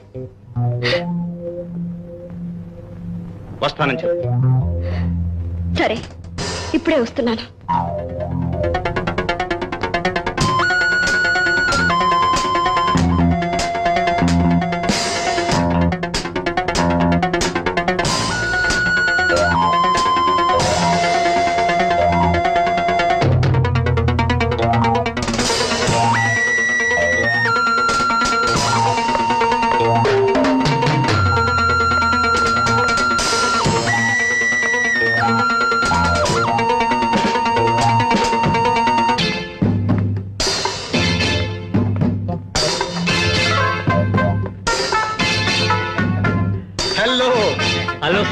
నమస్తే. Thank you very much very glad క్రియాషా బయటి దేఖో వీళ్ళకి పదహారే ఇంతకు ముందు మా దగ్గర కొన్ని అమ్మాయిల కంటే వీళ్ళందగత్తారు అరే రే ఏక్ నెంబర్ హై సాబ్. ఏమి ధర చెప్తారు? ఒక్కొక్కరికి మూడు లక్షలు. రెండు మూడు ఆరు లక్షలు. ఆ రెండు లక్షలు అడ్వాన్స్ తీసుకోండి మిగతాది తర్వాత పంపుతాం. అలాగే? తీసుకెళ్ళండి. అచ్చా హే సాబ్. సుందర్ హే. ఆవు బుల్బుల్. అవునా? పట్టుకోవడానికి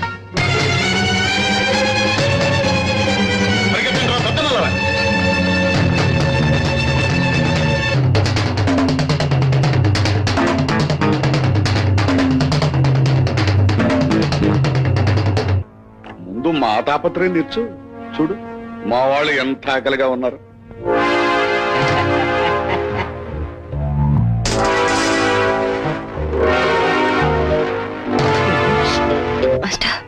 కొన్ని విషయ పరిస్థితుల వల్ల వీటిని పోస్ట్ బాక్స్లో పడేయాల్సి వచ్చింది. రేంజ్ మీ దగ్గర ఉంచాల్సిన ప్రార్థన.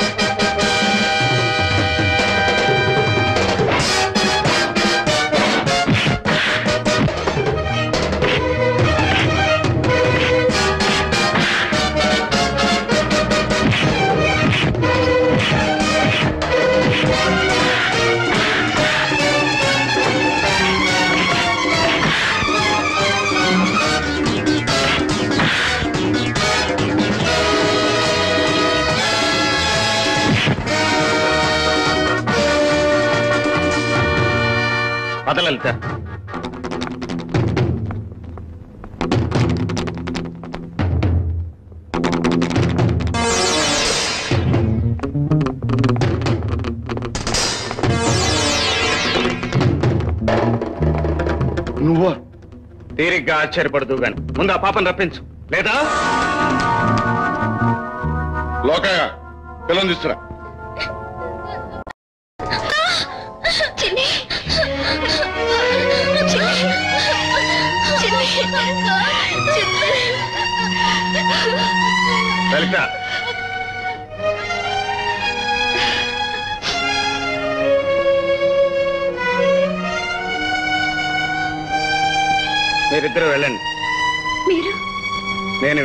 తేల్చేసి వస్తాను. ఉమ్, వెళ్ళండి. ఏ చంపుతావా? నేను తలుచుకుంటే ఇప్పుడే ఇక్కడే మిమ్మల్ని అందరినీ సమాధి చేయగలను. కానీ మీరు చేసిన అక్రమాలు అత్యాచారాలు అన్ని రుజువు చేసిన తర్వాత గాని మీ అంతం చూడను. ఏమిటి నువ్వు చూసేది మా అంతం? ఈ రాష్ట్రాన్ని పరిపాలించే కుటుంబమే మాది. ఇక్కడ బలం మాది పెత్తనం మాది రాజకీయం మాది. నా టైటిల్ ఏమిటో తెలుసా? టైగర్ ఆఫ్ ఆంధ్ర ఎవరిచ్చారా నీకు ఆ టైటిల్ కుటుంబపు రాజకీయం. నువ్వు నీ తండ్రో తాతో ఈ దేశపు స్వాతంత్ర పోరాటంలో పాల్గొన్నారా? దేశమాత దాస శృంఖలాలు పగలగొట్టడానికి పాటుపడ్డారా? జైళ్ళకి వెళ్ళారా తుపాకీ గుళ్ళకు ఎదురొట్టి నిలబడ్డారా? ఈ దేశానికి ఏమిటి మీ కుటుంబం చేసిన సేవ? భూములు లేని వాళ్ళకి భూములు పంచిపెట్టావా? ఇల్లు లేని వాళ్ళకి ఇల్లు కట్టించావా? కాలే కడుపుల కింద గంజి పోసావా? ఏం చేశావని ఎవరి కన్నీళ్ళు తుడిచావని ఈ ప్రజలకు ఏం మేలు చేశావని నీకు వచ్చిందిరా ఆ బిరుదు? నలుగురు రౌడీ వ్యర్థములను వెనకేసుకుని అమాయకుల మీద అసాధ్య చెలాయించినంత మాత్రాన నువ్వు టైగర్ కాలేవురా? నువ్వు పులితోలు కప్పుకున్న గుంట నక్కవి. ప్రజల రక్త మాంసాలు పీల్చే జలగవి కారణం లేకుండా కాటు వేసే కట్ల పాము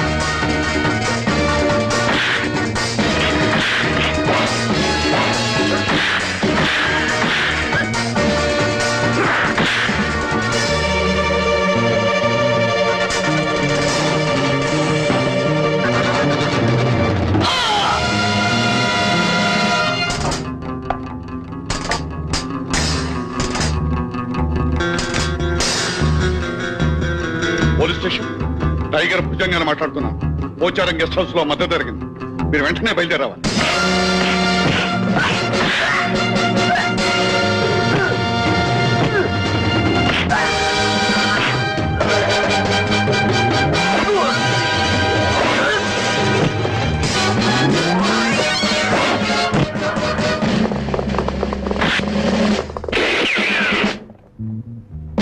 ఇన్స్పెక్టర్ ఇదిగో శవం.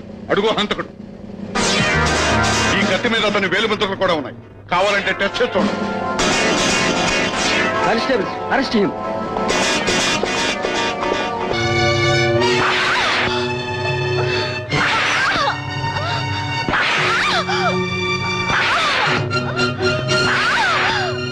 చెప్పు. ఇప్పటికైనా మర్యాదగా చెప్పు.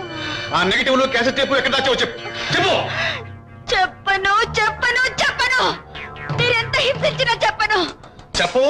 ఆగు. పాప అనవసరంగా ఎందుకు దెబ్బలు తింటావు? అవి నీ పొట్టలో దాచుకున్న ఆపరేషన్ చేసి మరీ తీసుకుంటాం. మర్యాదగా నీ అంతటి నువ్వు ఇచ్చి ఇచ్చేయమ్మా. ఇవ్వను. ఆ నెగిటివ్లు మీ నిజ రూపాలను ప్రజలకు తెలియపరిచే రుజువులు. ఆ రికార్డులు మీ అత్యాచారాలు ప్రజలకు నిరూపించే ఆధారాలు. వాటి ఆచూకీ చెప్పను. చెప్పవా. రే కాలి గోళ్ళల్లో దబ్బనాలతో గుచ్చండి. అప్పటికైనా చెప్తుందేమో చూద్దాం.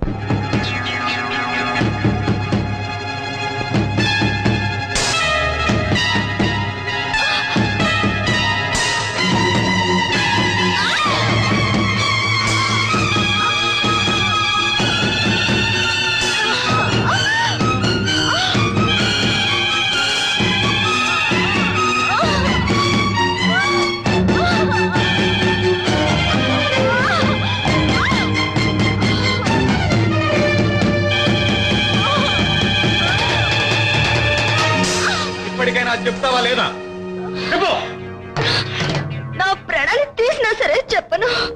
ఇది ఆ నెగిటివ్లు నేట్ న్యూస్ ఆఫీస్లో దాచిపెట్టిందని అనుమానం. అయితే ఆఫీస్ తగలబెడితే పోలే? హనుమాన్లు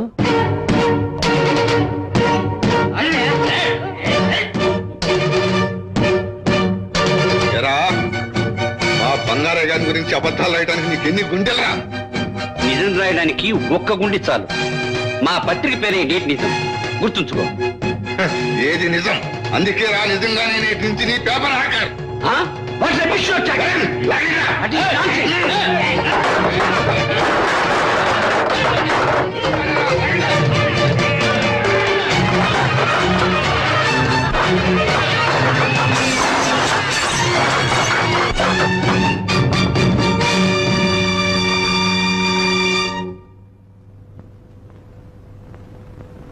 నమస్కారం అండి. నమస్కారం. ఏంటి పేపర్ల కట్ట పుచ్చుకొని వచ్చారు? దేశంలో అన్ని పేపర్లోనూ మన పేరు మారుమోగిపోతోంది. వెరీ గుడ్ అదే మనం కోరుకునేది. ఈ దెబ్బతో మన పార్టీ జాతీయ పార్టీ కాబోతుందన్నమాట. అదేం కాదండి. మన పార్టీ చేసే అఘాయిత్యాలను బయట పెట్టినందుకు నేటి నిజం పత్రికను మనం తగలబెట్టించామని ఇక మీదట మనకి ఏ సహకారం అందించకూడదని అన్ని పేపర్లు కలిసి తీర్మానించాయి. ఏకగ్రీవంగానేనా? ఏకగ్రీవంగానే. ఆ, అవి సహకరిస్తే అంత సహకరించకపోతే అంత. అయినా ఆ బోడి పత్రికల్ని ఎంతమంది చదువుతారని?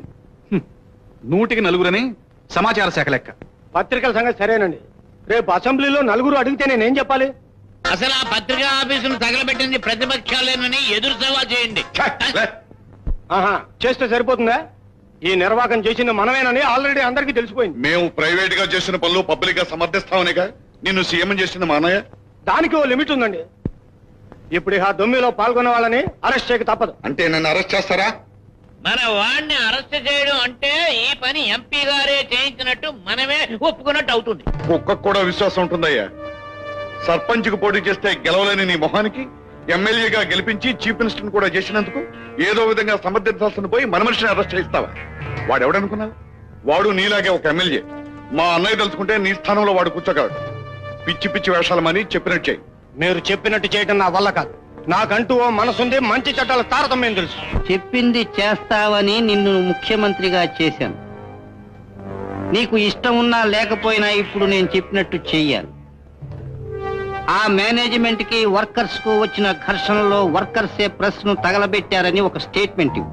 నేను ఇవ్వను అయితే నేను ఇస్తాను నేటి నిజాన్ని తగలబెట్టింది నువ్వేనని. అవును నువ్వే. పార్టీ కార్యదర్శిని చంపిన వాడివి ప్రెస్ తగలబెట్టలేవా? ఏమిటి మీరు అనేది?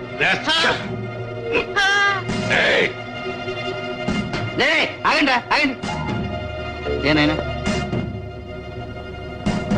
సాక్ష్యం ఉన్నమాటే అంటున్నానయ్యా. నువ్విచ్చిన పార్టీలో వికాసరావుకు విషమిచ్చి చంపినట్టు పోస్ట్ మార్టం రిపోర్ట్ వచ్చింది. దాన్ని మా తమ్ముడు చింపేస్తానంటే ఎప్పుడైనా దేనికైనా అవసరం ఉంటుందేమోనని జాగ్రత్త చేశాను. చూపించమంటారా అక్కర్లేదు. మీరేమి చూపించక్కర్లేదు. మీరు దేన్ని ఎటైనా మార్చగలిగిన సమర్థులు బుద్ధి తక్కువై ముఖ్యమంత్రిని అయ్యాను. ఈ రొంపిలోంచి నన్ను బయటపడేయండి అంతే చాలు. అయితే వెంటనే రాజీనామా పంపించు అలాగే. ఆగు. కళ్ళదోడు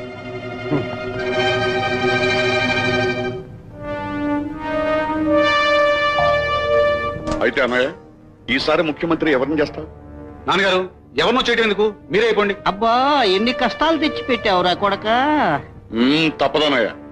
సరే మీ ఇద్దరు గట్టిగా పట్టుబడితే నేనేం చేయగలను? అలాగే కానివ్వండి. అయితే ఇక మనం పీడబ్ల్యూడి మినిస్టర్ అయిపోవడం ఖాయం అన్నమాట అయ్యా తమకు పోయే కాలం వచ్చిందండి. ఆ, అదేనండి. భరతనాట్యానికి ఏర్పాట్లు అయిపోయినాయండి తమ కోసం అందరు ఎదురు చూస్తున్నారండి.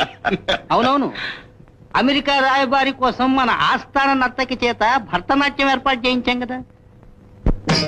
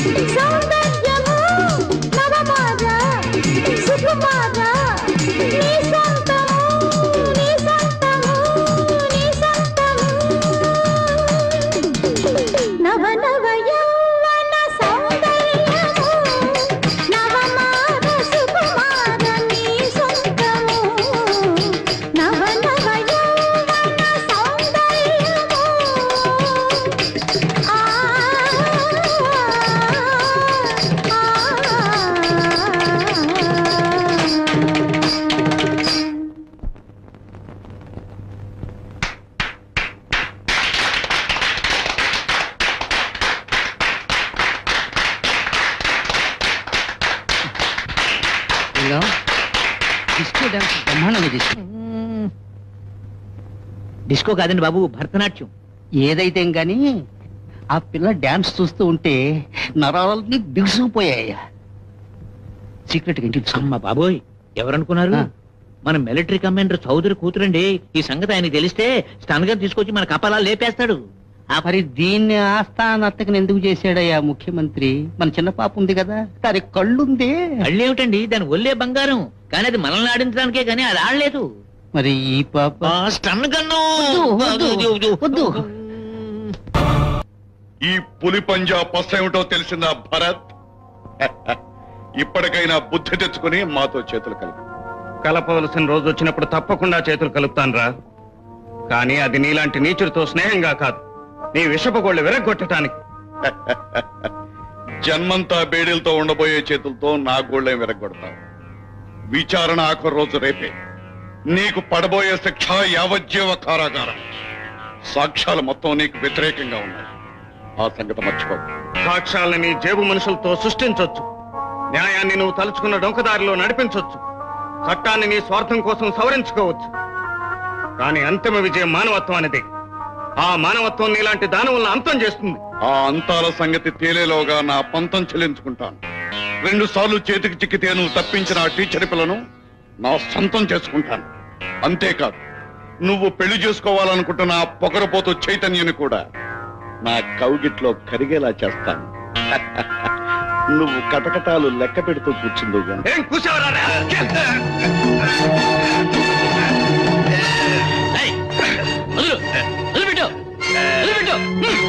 రేయ్, చైతన్యని గాని లలితని గాని ఏదైనా పరాభవం చేయడానికి ప్రయత్నించావో? నిన్ను నరికి పోగులు పెడతాను జాగ్రత్త. యువరానర్ భరత్ అనే ఈ నిందితుడు పోచారం గెస్ట్ హౌస్ దొమ్మిగా వెళ్ళి ఎమ్మెల్యే లోకయ్యను దారుణంగా హత్య చేశాడు. పోలీసులు వెళ్ళటం కాస్త ఆలస్యం అయ్యుంటే బహుశా మరో నాలుగైదు కూలీలు చేసి ఉండేవాడు. ఈ హంతకుణ్ణి కఠినంగా శిక్షించవలసిందిగా కోర్టు వారిని కోరుతున్నాను. మిస్టర్ భరత్ నీ మీద నిరూపణైన ఈ నేరానికి నువ్వు చెప్పుకునే సమాధానం ఏమైనా ఉందా? నేను చెప్పే సమాధానాన్ని విశ్వసించడం మీ వల్ల కాదు. చెవిటికి శంఖం ఊదే అలవాటు నాకు లేదు. అసలు ఈ విచారణ విధానాన్ని నేను అంగీకరించను. దేశ ప్రజలందరూ అనుసరిస్తున్న న్యాయ విధానాన్ని కాదనటానికి నువ్వెవరివి? చరిత్రలో నాటి నుంచి నేటి వరకు చెయ్యని నేరానికి నిందితులుగా బోనుల్లో నిలబడ్డ ఎందరో నిర్దోషుల్లో నేను ఒకణ్ణి. ఒకప్పుడు భగత్ సింగ్ కావచ్చు మరొకప్పుడు సుభాష్ చంద్రబోస్ కావచ్చు ఇంకొకప్పుడు ఆంధ్రకేసరి టంగుటూరి ప్రకాశం పంతులు కావచ్చు. ఎప్పటికప్పుడు తప్పుడు పాలనను ఎదిరించిన ఏ ప్రజాసేవకుడు చెప్పిన సమాధానాన్ని కోర్టులు అంగీకరించలేదు. ఇక్కడ చట్టం బలవంతుల చేతుల్లో బంది న్యాయం సాక్ష్యాల కుళ్ళు కాలువలో మునిగిపోతున్న పడవ. ఆ చచ్చిన వాడు నన్ను చంపడానికి కత్తి విసిరబోయాడు అందుకు సాక్ష్యం లేదు. వాళ్ళే వాణ్ణి చంపి నన్ను హంతకుడుగా నిరూపించారు. అందుకు మాత్రం సాక్ష్యం ఉంది. ఆ దుర్మార్గులకు యువతిని బలాత్కరించబోయారు. అందుకు సాక్ష్యం ఉన్నా మీరు నమ్మరు. యువరానర్ ఇతను విప్లవకారుడు. పైకి కార్మిక నాయకుల చలామణి అవుతూ లోపల చట్టరీత్యా ఎన్నుకోబడ్డ ప్రభుత్వాన్ని కూలదోయటానికి కుట్ర పన్నాడు. ఆ కుట్రలో భాగంగానే ఎమ్మెల్యే లోకయ్యను హత్య చేశాడు. అతని అనుచర ఎమ్మెల్యేలందరినీ అంతం చేస్తానని హెచ్చరించాడు. ఈ హంతకుణ్ణి యథేచ్ఛగా తిరగనిస్తే ప్రజల స్వేచ్ఛకే ప్రమాదం. ఇతడు ప్రజాస్వామ్యానికే ప్రబల విరోధి సమాజానికే శత్రువు ఎవరు సమాజానికి శత్రువులు? ఎవరి కష్టంతో వాళ్ళు జీవించాలనుకునే నా వంటి సామాన్యుల? గనుల్లో కార్ఖానాల్లో యంత్రభూతాల కోరలతోమే కార్మికుల కష్ట ఫలితాన్ని దోచుకునే బడా పెట్టుబడిదారుల. సమానత్వం సభ్రాతృత్వం అంటూ నినాదాలు వల్లిస్తూ తమ ఇళ్ళలోనూ పొలాల్లోనూ పనిచేసే శ్రామికులను జంతువుల కన్నా హీనంగా చూసే శ్రీమంతుల. స్త్రీల మాన ప్రాణాలకు రక్షణ కల్పిస్తామని వేదికలెక్కి ప్రగల్భాలు పలుకుతూ చీకటి పడగానే చిలకల కోసం చిందులు వేసే ప్రజానాయకుల. ఎవరు ప్రజల స్వేచ్ఛకు ప్రమాదం? ఏ న్యాయానికి కట్టుబడి ఉంది చట్టం? ఏ మంచిని సాధిస్తున్నది శాసనం? ఎలాంటి సంస్కృతిని సృష్టిస్తున్నది ఎవరిని బలపరుస్తున్నది వ్యవస్థ? నకిలీ మందులతో పసిబిడ్డల ప్రాణాలు తీయటానికి కూడా వెనకాడని దొంగ వ్యాపారం. అదిరించి బెదిరించి కుంచాల లెక్కన లంచాలు మేసే దగులుబాజీ అధికారుల్ని. పేదల పేరిట ప్రణాళికలు ప్రకటించి ఆ సొమ్ముతో మేడలు మిద్దెలు కట్టుకుని భోగ విలాసాల్లో మునిగి తేలే రోగిష్టి పాలకుల్ని. తమ స్వార్థ ప్రయోజనాల కోసం అడ్డు వచ్చిన మంచి మనుషుల ప్రాణాలు నిలువునా తీసే నరహంతకుల్ని. కర్తవ్య నిర్వహణ కోసమే జీవించింది నా తల్లి డాక్టర్ అపర్ణ. కేవలం అబద్ధపు రిపోర్టు రాయనందుకు ఆమెను చిత్రహింసలు పెట్టి చంపారు. ఆ హంతకుల్ని పట్టుకోవటానికి ఏ చట్టము ప్రయత్నించలేదు. ప్రయత్నించినా వాళ్ళు పట్టుబడరు. పలుకుబడి చాటున దాక్కుంటుంది సాక్ష్యం. అధికారం మాటున అణిగిపోతుంది నేరం. ఆఖరకు మిగిలేది ఉన్న ఒక్క కాలు పోగొట్టుకున్న ధర్మదేవత ఆక్రోశం అన్యాయాన్ని అరికట్టలేని ఈ న్యాయపీఠపు ఆక్రందన. పవిత్రమైన గంగానది ప్రవహించే దేశం ఇది. ఈ భూమిపై ఒక మోహన్ దాస్ కరంచంద్ గాంధీ పుట్టాడు. సత్యాహింసల సూత్రయజ్ఞంలో స్వాతంత్ర జ్యోతిని వెలిగించాడు. ఒక పండిట్ జవహర్లాల్ నెహ్రూ పుట్టాడు. దేశాన్ని సుందర నందనం చేయాలని వందలాది ప్రణాళికలు వేశాడు. కోతుగడ్డ ఈ ఆంధ్రభూమిపై ఒక అల్లూరు సీతారామరాజు అవతరించాడు. విప్లవాగ్నులు చెలరేగినాయి. మన్య అడవులు మారుమోగినాయి. బ్రిటిష్ సింహం గడగడలాడింది.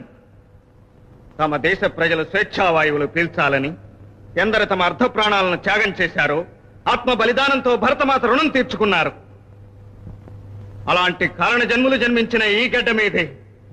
మురికిపూడి బంగారయ్య లాంటి ముచ్చులు కూడా పుట్టారు.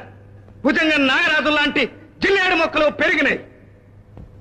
సమాజానికి పట్టిన ఈ చీడ పురుగులు ఇక్కడ నాయకులుగా చలామణి అయ్యారు. వాళ్ళు పాతి పెట్టిన న్యాయాన్ని బయటికి తీసి ఆగోతుల్లోనే వాళ్ళను పాతి పెడతాను ధర్మంపై వాళ్ళు చల్లిన నిప్పులతోనే వాళ్ళను తగలబెడతాను. ఇదే ఆ నాయకులకు నా సవాల్. నడుస్తున్న చరిత్ర పట్ల నిందితుని ఆవేదనను అర్థం చేసుకోగలిగినా ఈ న్యాయస్థానం చేయగలిగింది ఏమీ లేదు. సాక్ష్యాధారాలను బట్టి నేర నిర్ణయం చేయడం వరకే న్యాయస్థానపు బాధ్యత. ఇండియన్ పీనల్ కోడ్ సెక్షన్ మూడు వందల రెండు ప్రకారం నిందితుడికి యావజ్జీవ కారాగార శిక్ష విధించడమైనది.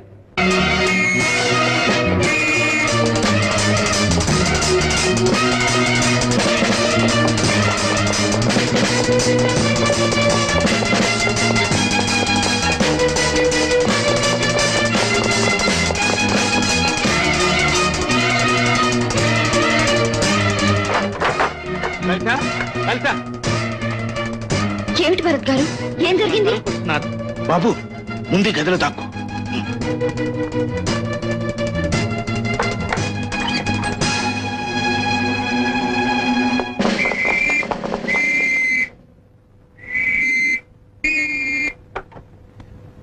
Police whistles వినపడుతున్నాయి. మన మీదకే వస్తున్నట్టున్నారు నాన్న.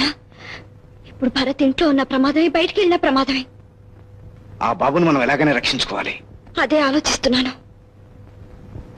లలిత ముందు బాబుని పెరగదారి గుండా బయటికి పంపించు. మిగతా విషయాలు నేను చూసుకుంటాను.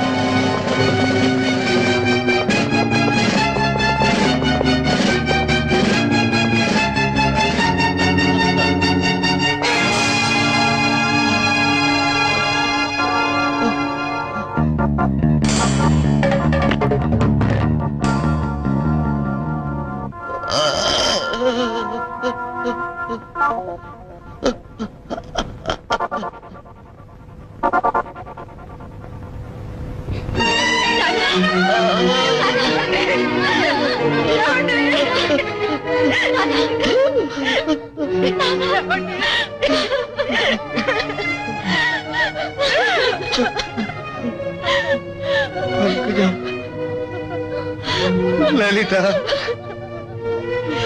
బాధపడకండి.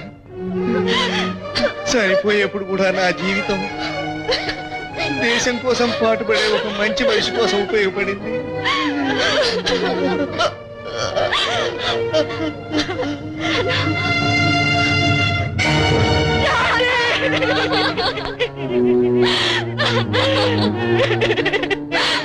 అసలు ఖైదీ పరారైపోతున్నప్పుడు కాళ్ళకే గురిచేసి కొట్టాలి.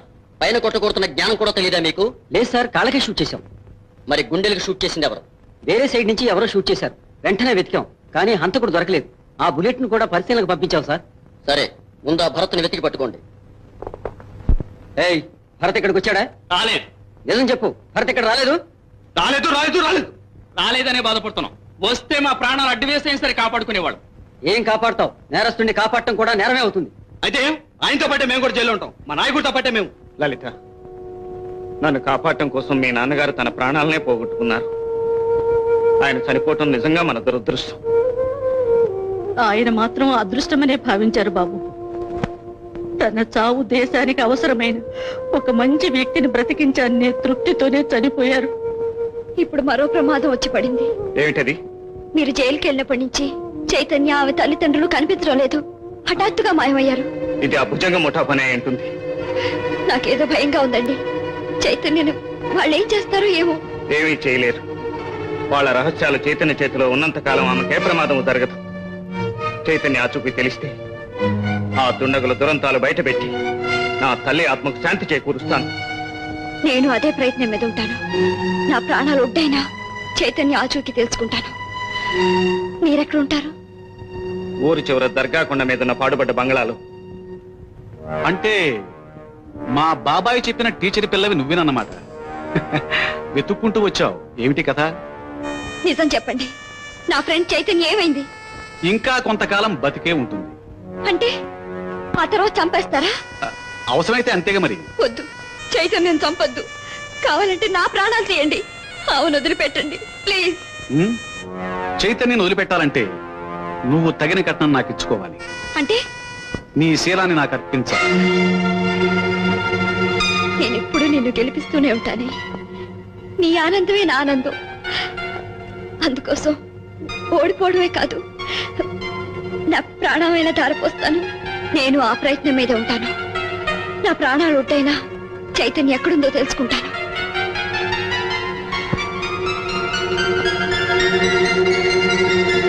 సరే.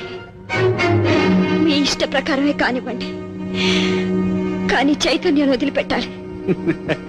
ఆడిన మాట తప్పటం నాకు మా నాన్నకు మా బాబాయికి అసలు లేనే లేదు. Thank you.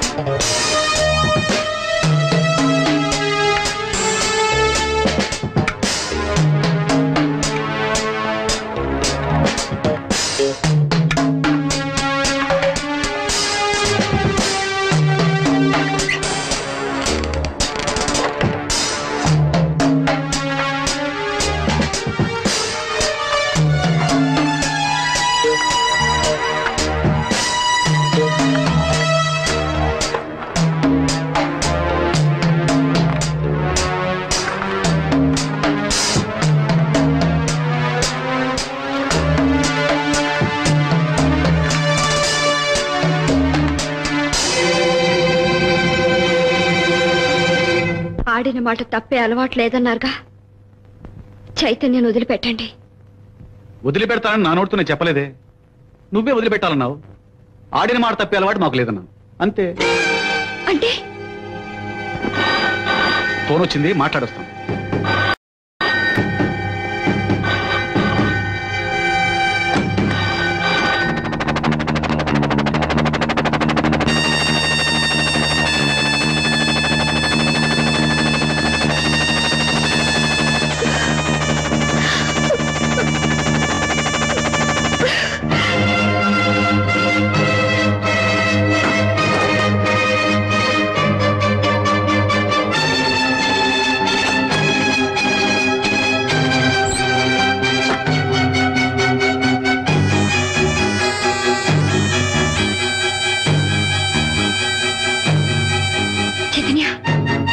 చైతన్య లలిత నువ్వు ఇక్కడికి ఎలా వచ్చావు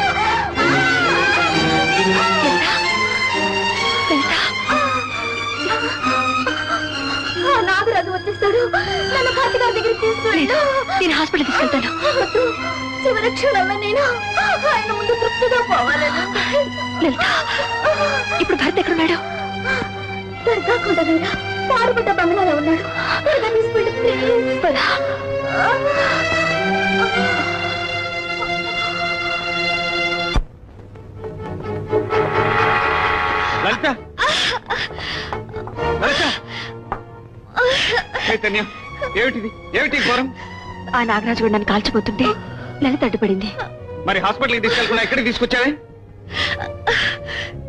నన్ను బ్రతికించే ప్రయత్నం చేయకండి. శీల పోయాక బ్రతికి ప్రయోజనం ఏముంది అంటే అంటే ఆ దుర్మార్గుడు? విచారించక చైతన్య ఆ రూపంగానైనా నిన్ను కాపాడుకోగలిగాను. నా దైవానికి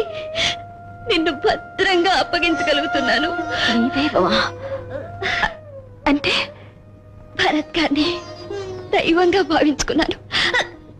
కానీ ఆయన ప్రేమను పొందిన అదృష్టం నీకే దక్కింది.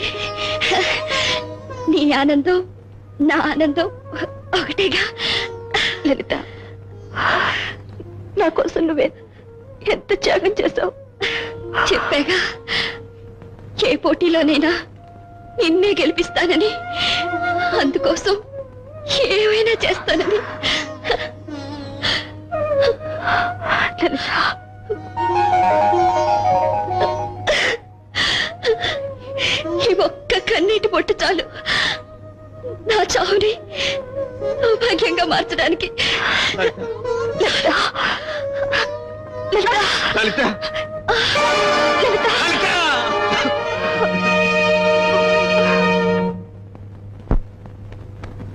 చీటి చూసినప్పుడే ఇవి ఎంత ముఖ్యమైనవో నాకు అర్థమైపోయింది. అందుకే భద్రంగా దాచిపెట్టాను థ్యాంక్ యూ సార్ మీరు జాగ్రత్త పడి ఉండకపోతే కొందరు ప్రజాకంటకులు శిక్ష తప్పించుకుని ఉండేవాళ్ళు. వస్తామండి. మంచిదండి. నమస్తే. సోదర సోదరి మండలారా మన ముఖ్యమంత్రి అనారోగ్య కారణాలుగా రాజీనామా చేసిన విషయం మనందరికీ తెలిసిన విషయమే. వారి స్థానంలో పూజ్యులు పెద్దలు అయినటువంటి శ్రీ బంగారయ్య గారిని ముఖ్యమంత్రిగా ఎన్నుకోవడానికి మనం అంతా ఇక్కడ సమావేశమయ్యాం. నాకెందుకు తగిలిస్తావయ్యా సంకెళ్ళు? అమ్మమ్మమ్మ మీరు అలా అంటే ఎమ్మెల్యేలంతా తండ్రి లేని బిడ్డలు అయిపోతారు బాబు. మీరు అలా అనొద్దు? మాట్లాడేవయ్యా ఆపండి ఆపండి ఆపండి. మీ కోరిక నేను ఎప్పుడు కాదన్నాను? అలాగే కానివ్వండి. బంగారయ్య గారు బంగారయ్య గారు బంగారయ్య గారు బంగారయ్య గారు బంగారయ్య గారు. తమకు ఏదో పార్సల్ వచ్చిందండి. మనం ముఖ్యమంత్రి అవుతామని ముందే పసిగట్టి ఎవడో తెలివైన వాడే పంపించినట్టున్నాడు. విప్పి చూడు.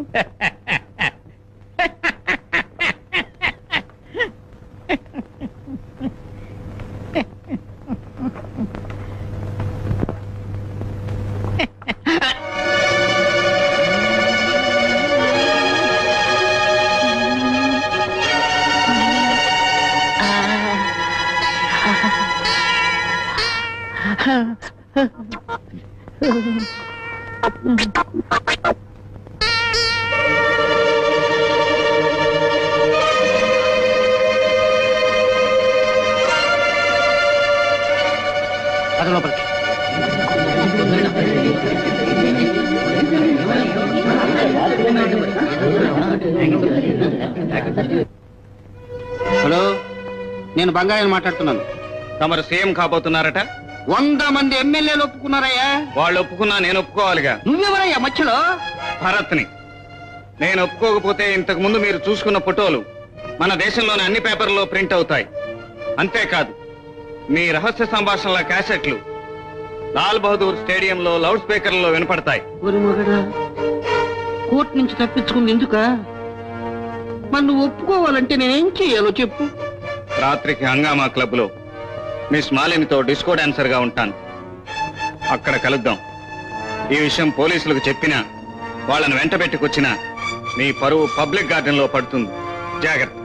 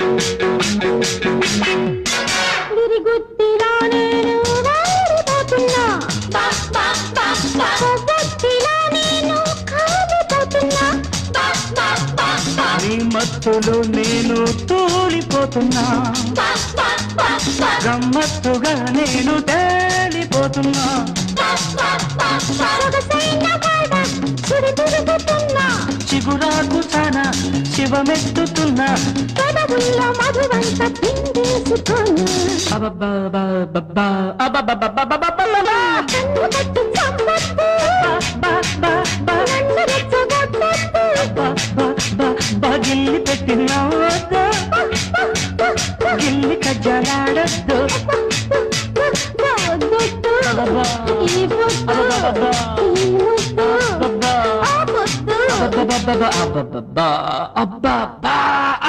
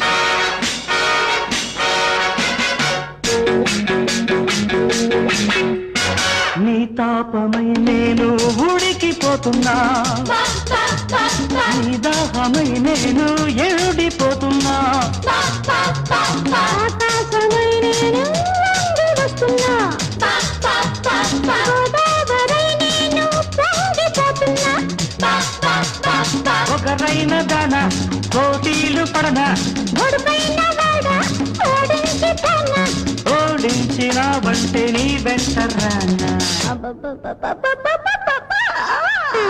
పన్ను కొట్టి చంపొద్దు. నన్ను రెచ్చగొట్టొద్దు.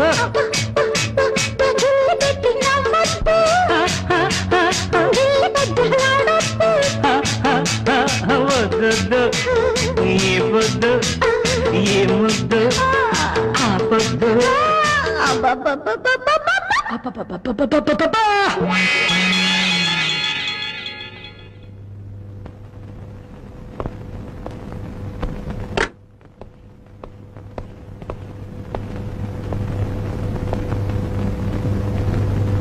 ఫోన్ చేసింది? ఇప్పుడు చెప్పు నీ బేరం ఏమిటో? ఎంత డబ్బు కావాలి? డబ్బు కోసం ఆశపడటానికి నేను ఇలాంటి నీచుని కాను. నీచుడు అనే పదానికి అనేక అర్థాలున్నాయి. అవన్నీ ఇప్పుడు ఎందుకులే? కాంచనం కామిని అన్నారు. అందులో నీకు పదవి కోసం తార్చడానికి కూడా సిద్ధపడ్డావన్నమాట. పదవి మామూలు పదవే ముఖ్యమంత్రి పదవి. దాన్ని నిలుపుకోవడానికి నీ కాళ్ళు పట్టుకుంటాను చిచి! నీ పాపం చేతులతో అంటుకుంటే నా కాళ్ళకంటుకునే మురికి కాశీలో కడిగినా వదలదు. ఏమిటి భరత్? నాకు చాలా మంది పాదాభివందనం చేస్తూ ఉంటారు. అలా చేయించుకోవడం నాకు సరదా. అది నా అదృష్టం అనుకుంటాను. అందుకే నువ్వు ముఖ్యమంత్రి కావటం ప్రజల దురదృష్టం. ఏది ఇస్తానన్నా వద్దంటావు? పోనీ హోమ్ మినిస్టర్ ఇస్తాను. కుట్టు కుట్టు నీ ఇష్టం వచ్చినట్టు? దేనికి? నీకు డబ్బా కొట్టడానికా నీ రౌడీ ఎమ్మెల్యేలను రక్షించడానికా ఎదురు తిరిగిన వాళ్ళని కూనీలు చేయించడానికా? అదంతా గత చరిత్ర. నాకు కోరికలన్నీ తీరిపోయాయి. ఇప్పుడు హఠాత్తుగా ప్రజల మీద ప్రేమ పుట్టుకొచ్చింది. అందుకనే ఇంకెవరిని కాదని నేనే ముఖ్యమంత్రిని కాదలుచుకున్నాను. నా పాత పద్ధతులన్నీ మార్చుకున్నాను. తెల్లతోలు కప్పుకుంటే పులి గోవుగా మారుతుందా? నినాదాలు వల్లిస్తే బూర్జువా సోషలిస్ట్ అవుతాడా? నేనేం చెప్పినా నువ్వు కాదంటావు. నీకేం కావాలో చెప్పు నేను అవునంటాను. నా తల్లి చావు కారణం ఎవరు? చెప్తాను. ఆ రోజు.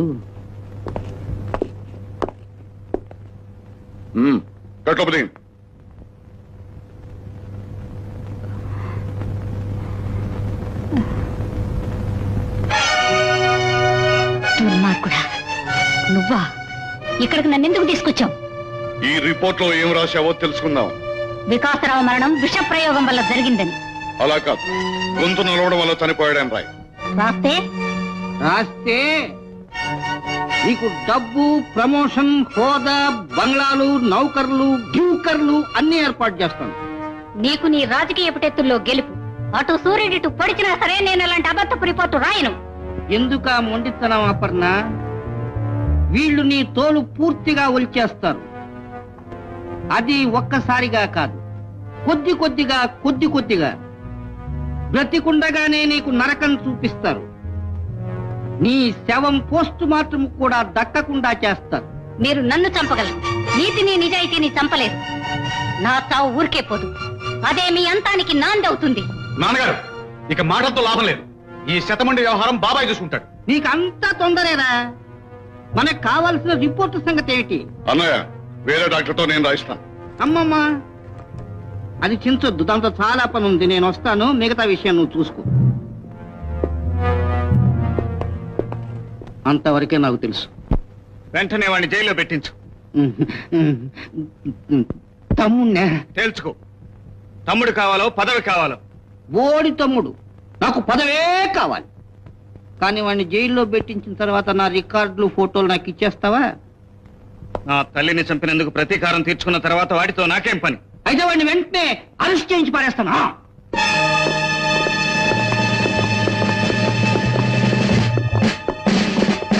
ఇన్స్పెక్టర్ గారు ఇలా వచ్చారు. ఐఎమ్ సారీ సార్ మిమ్మల్ని అరెస్ట్ చేయవలసి వచ్చింది. కామ్రేడ్స్ మన పేడ విరగడైంది. టైగర్ భుజంగాన్ని వాళ్ళ అన్న ఎంపీ బంగారయ్య జైల్లో పెట్టించాడు. నాన్న ఏమిటి ఘోరం? మీరే స్వయంగా బాబాయిని జైల్లో పెట్టించడం ఏమిటి?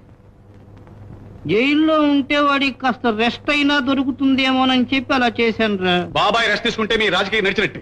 మీకోసం బాబాయ్ తనించాడు చంపించాడు. బెదిరించి ఓట్లు వేయించాలన్నా ఆఖరికి ఏ బజార్ వ్యవసాయనా గెలిపించాలన్నా అన్నిటికీ బాబాయ్ అన్నా దుర్యోధన దుశ్శాసనంలో మీకోసం ఇంత చేసిన బాబాయిని జైల్లో పెట్టిస్తే ఆయన మనసు ఎంత బాధపడుతుంది? ఇప్పుడు ఏం మునిగిపోయిందనరా అంత కంగారు పడతావు? నేను ముఖ్యమంత్రిగా ప్రమాణ స్వీకారం చేసిన వెంటనే వాడి మీద చేసిన నేరారోపణలన్నీ ప్రతిపక్షాలు కక్షతో చేశాయని ఏది రుజువు కాలేదని స్టేట్మెంట్ ఇచ్చి వాడిని విడుదల చేయిస్తాను. ఇక మీరు ఇంటికి వెళ్ళొచ్చండి. మా అన్నగారు ఏమైనా బెయిల్ మంజూరు చేయించారా? మీ అన్నగారు కాదండి. ఎవరో చింతపండు శివరామయ్య గారండి. చింతపండు శివరామయ్య. అయ్యా నేనేనండి. నేను సిఎస్ఆర్ కాటన్ మిల్స్ ప్రొపరేటర్ అండి మిమ్మల్ని విడుదల చేయించడానికి ఐదు లక్షల డిపాజిట్ కట్టానండి. ఐదు లక్షల? ఐదు లక్షలు ఏంటండి మీరు ఆ దేశభక్తుల కోసం యాభై లక్షలనే ఖర్చు పెడతానండి. లేకపోతే కొంపలు అంటుకుపోతాయి. రండి వెళ్దాం. రండి.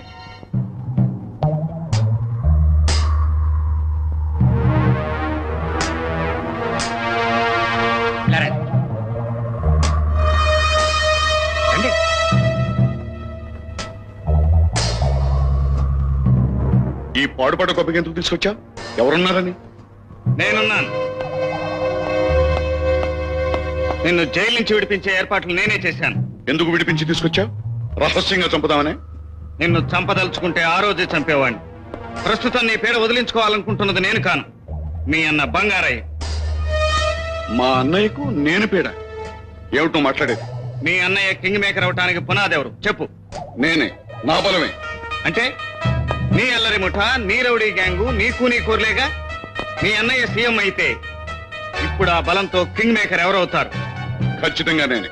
అందుకే ఖచ్చితంగా నిన్ను జైల్లో పెట్టించాడు. రేపు సీఎం అవగానే పైకి పంపించేస్తాడు. నువ్వు చెప్పేది నమ్మమంటావా? నమ్మకపోవటం ఏంటండి? అద్దం పెట్టినట్టు అనిపిస్తా ఉంటే? ఇంతకు ముందు ఎందరు సీఎంలు వచ్చినా నిన్నెవరూ ఏమీ చేయలేకపోయారు. అటువంటిది సరిగ్గా ప్రమాణ స్వీకారానికి ముందే నిన్ను అరెస్ట్ చేయించడంలో అర్థం ఏమిటి? అదే బోధపడటం లేదు. మీ అన్నయ్యకు పదవి ముఖ్యం. అందుకు అవసరమైతే కన్నబిడ్డనైనా అడ్డం వేయగల సమర్థుడు. అవును. ఇప్పుడే తెలుస్తాను. ఏం తెలుస్తావు? నిన్ను చూడగానే తమ్ముడు అని కౌగిలించుకుంటాడు. సీఎం అవగానే నీ మీదున్న కేసులన్నీ రద్దు చేయిస్తానంటాడు. గట్టిగా మాట్లాడితే నిన్నే సీఎంను చేస్తానంటాడు. ఒక్కడి గుర్తుంచుకో. మీ అన్నయ్య ప్రమాణ స్వీకారానికి ముందు ఏవో పూజలు చేయించడానికని మీ ఊరు వెళ్ళాడు. తిరిగి వచ్చాడంటే నీ పూజే. పైలోకానికి టికెట్ తమరు ప్రమాణ స్వీకారం చేయకుండానే తమ ముఖంలో ముఖ్యమంత్రి గల దగ దగ దగ దగ మండిపోతూ ఉంది. ఈ శుభ సమయంలో ప్రజలు తమరిని రెండే రెండు కోరదలిచారు ఏంటవి ఒకటి తమరు సీఎం అయిన తర్వాత ఇదిగో ఈ దేవాలయాన్ని పడగొట్టి కొత్తది కట్టించాలి. కట్టిద్దాం. రెండవది ఏంటి వాళ్ళ అభిమాన ప్రీతమ నాయకుడైన నన్ను పీడబ్ల్యూ మినిస్టర్ చేయాలట. ఏంటనా ఆ, ఆ, ఆ, అదే పీడబ్ల్యూ మినిస్టర్ చూద్దాం. అయ్యా అయ్యా నిజంగా మనకు పోయే కాలం వచ్చేసిందయ్యా ఏమిట్రా? ఆ భుజంగం కారణయ్య తుపాకీ పట్టుకొని అందరినీ కాల్చిపారేయడానికి వచ్చేస్తున్నారంటయ్యా ఏంటో కూర్చుకోసాడు టైం అయింది పదా.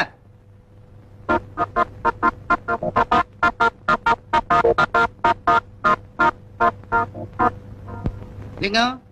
ఒక మంచి ముత్తైదును చూసి ఎదురు రమ్మను. వెళ్దాం. మొత్తం ఎందుకురా మొండమోపి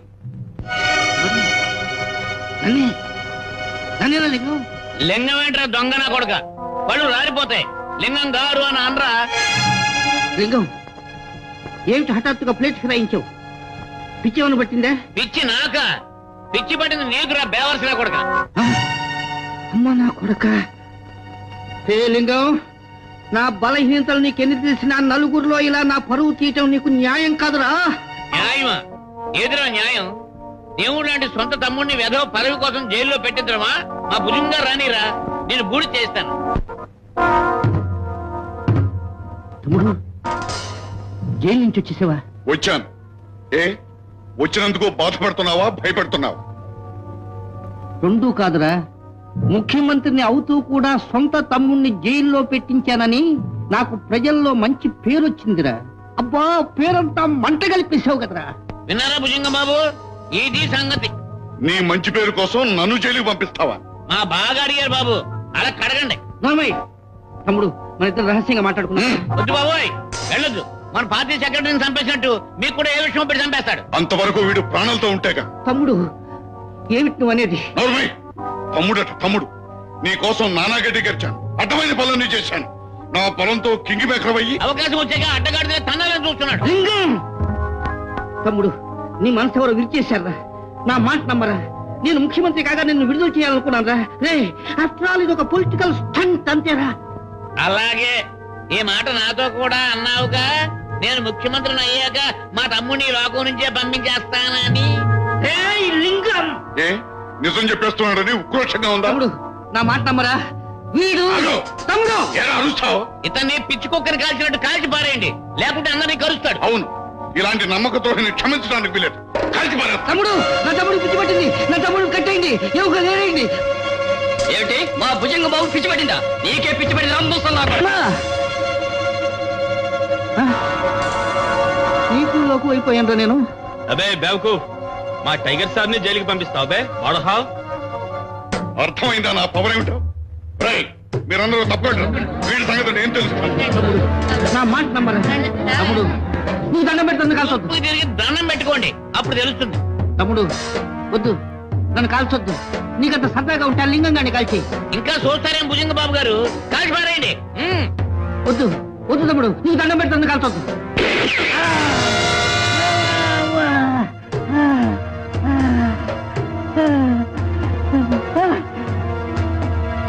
రక్తం రక్తం.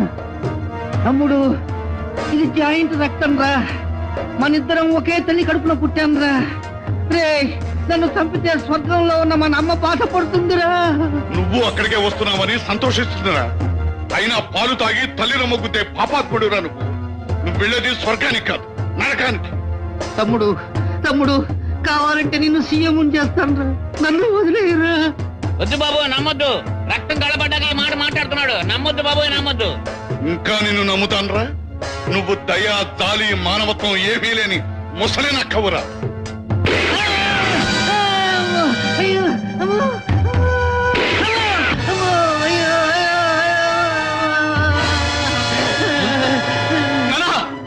నానా నానా నానా.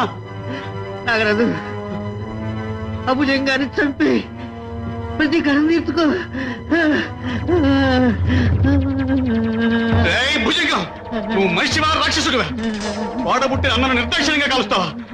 నిన్ను మర్యాదగా అక్కడే నిలబడి. కదిలేవా కాల్చి పారేస్తాను. నన్ను కాల్చడం కాదురా. ముందు నీ ఎందు తెలుస్తాను.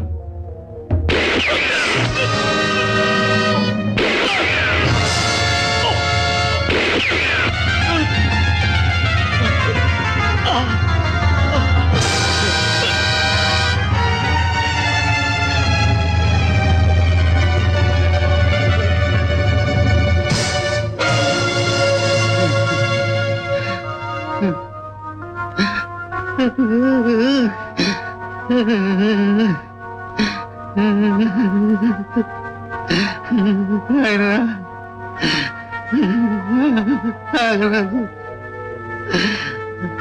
తర్వాత నిన్న ముఖ్యమంత్రి చేయాలనుకున్నాను. ఇక అప్పుడే నూరేళ్ళు నిండాయా నా తల్లిదండ్రుల్ని నా స్నేహితురాల్ని నా కాకుండా చేసినందుకు మీరే కుక్క చావు చావాల్సిందే. ముందు దీన్ని మన మహిళకు తీసుకెళ్ళండి. దీని సంగతి కూడా తర్వాత తెలుస్తాను నీ అంతు నేను చూస్తానురా. నువ్వు నేనేరా సవాల్ చేసి మీ చేతులతో మీ కళ్ళనే పొడిపించిన భరత్ని. అంటే? అంటే మీ అన్నను ఇరుకున పెట్టి నిన్ను జైలుకు పంపేట్టు చేసింది నేనే. నిన్ను రెచ్చగొట్టి మీ అన్న మీదకు ఉసుగొల్పింది నేనే.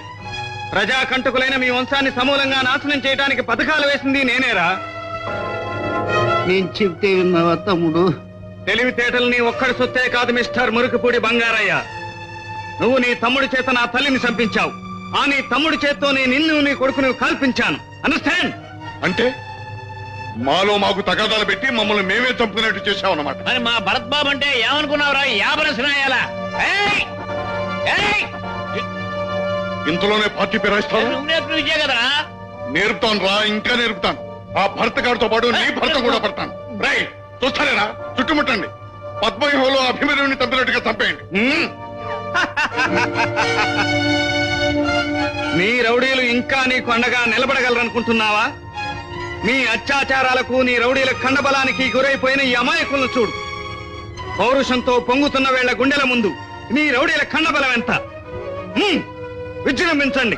తరతరాలుగా మీరు పడుతున్న అవమానాలకు ప్రతీకారం చేయండి. విచ్చుకుపడండి.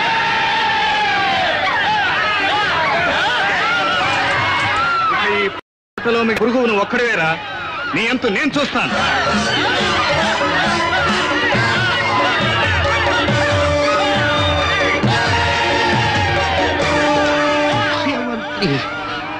పదవి ప్రమాణ స్వీకారం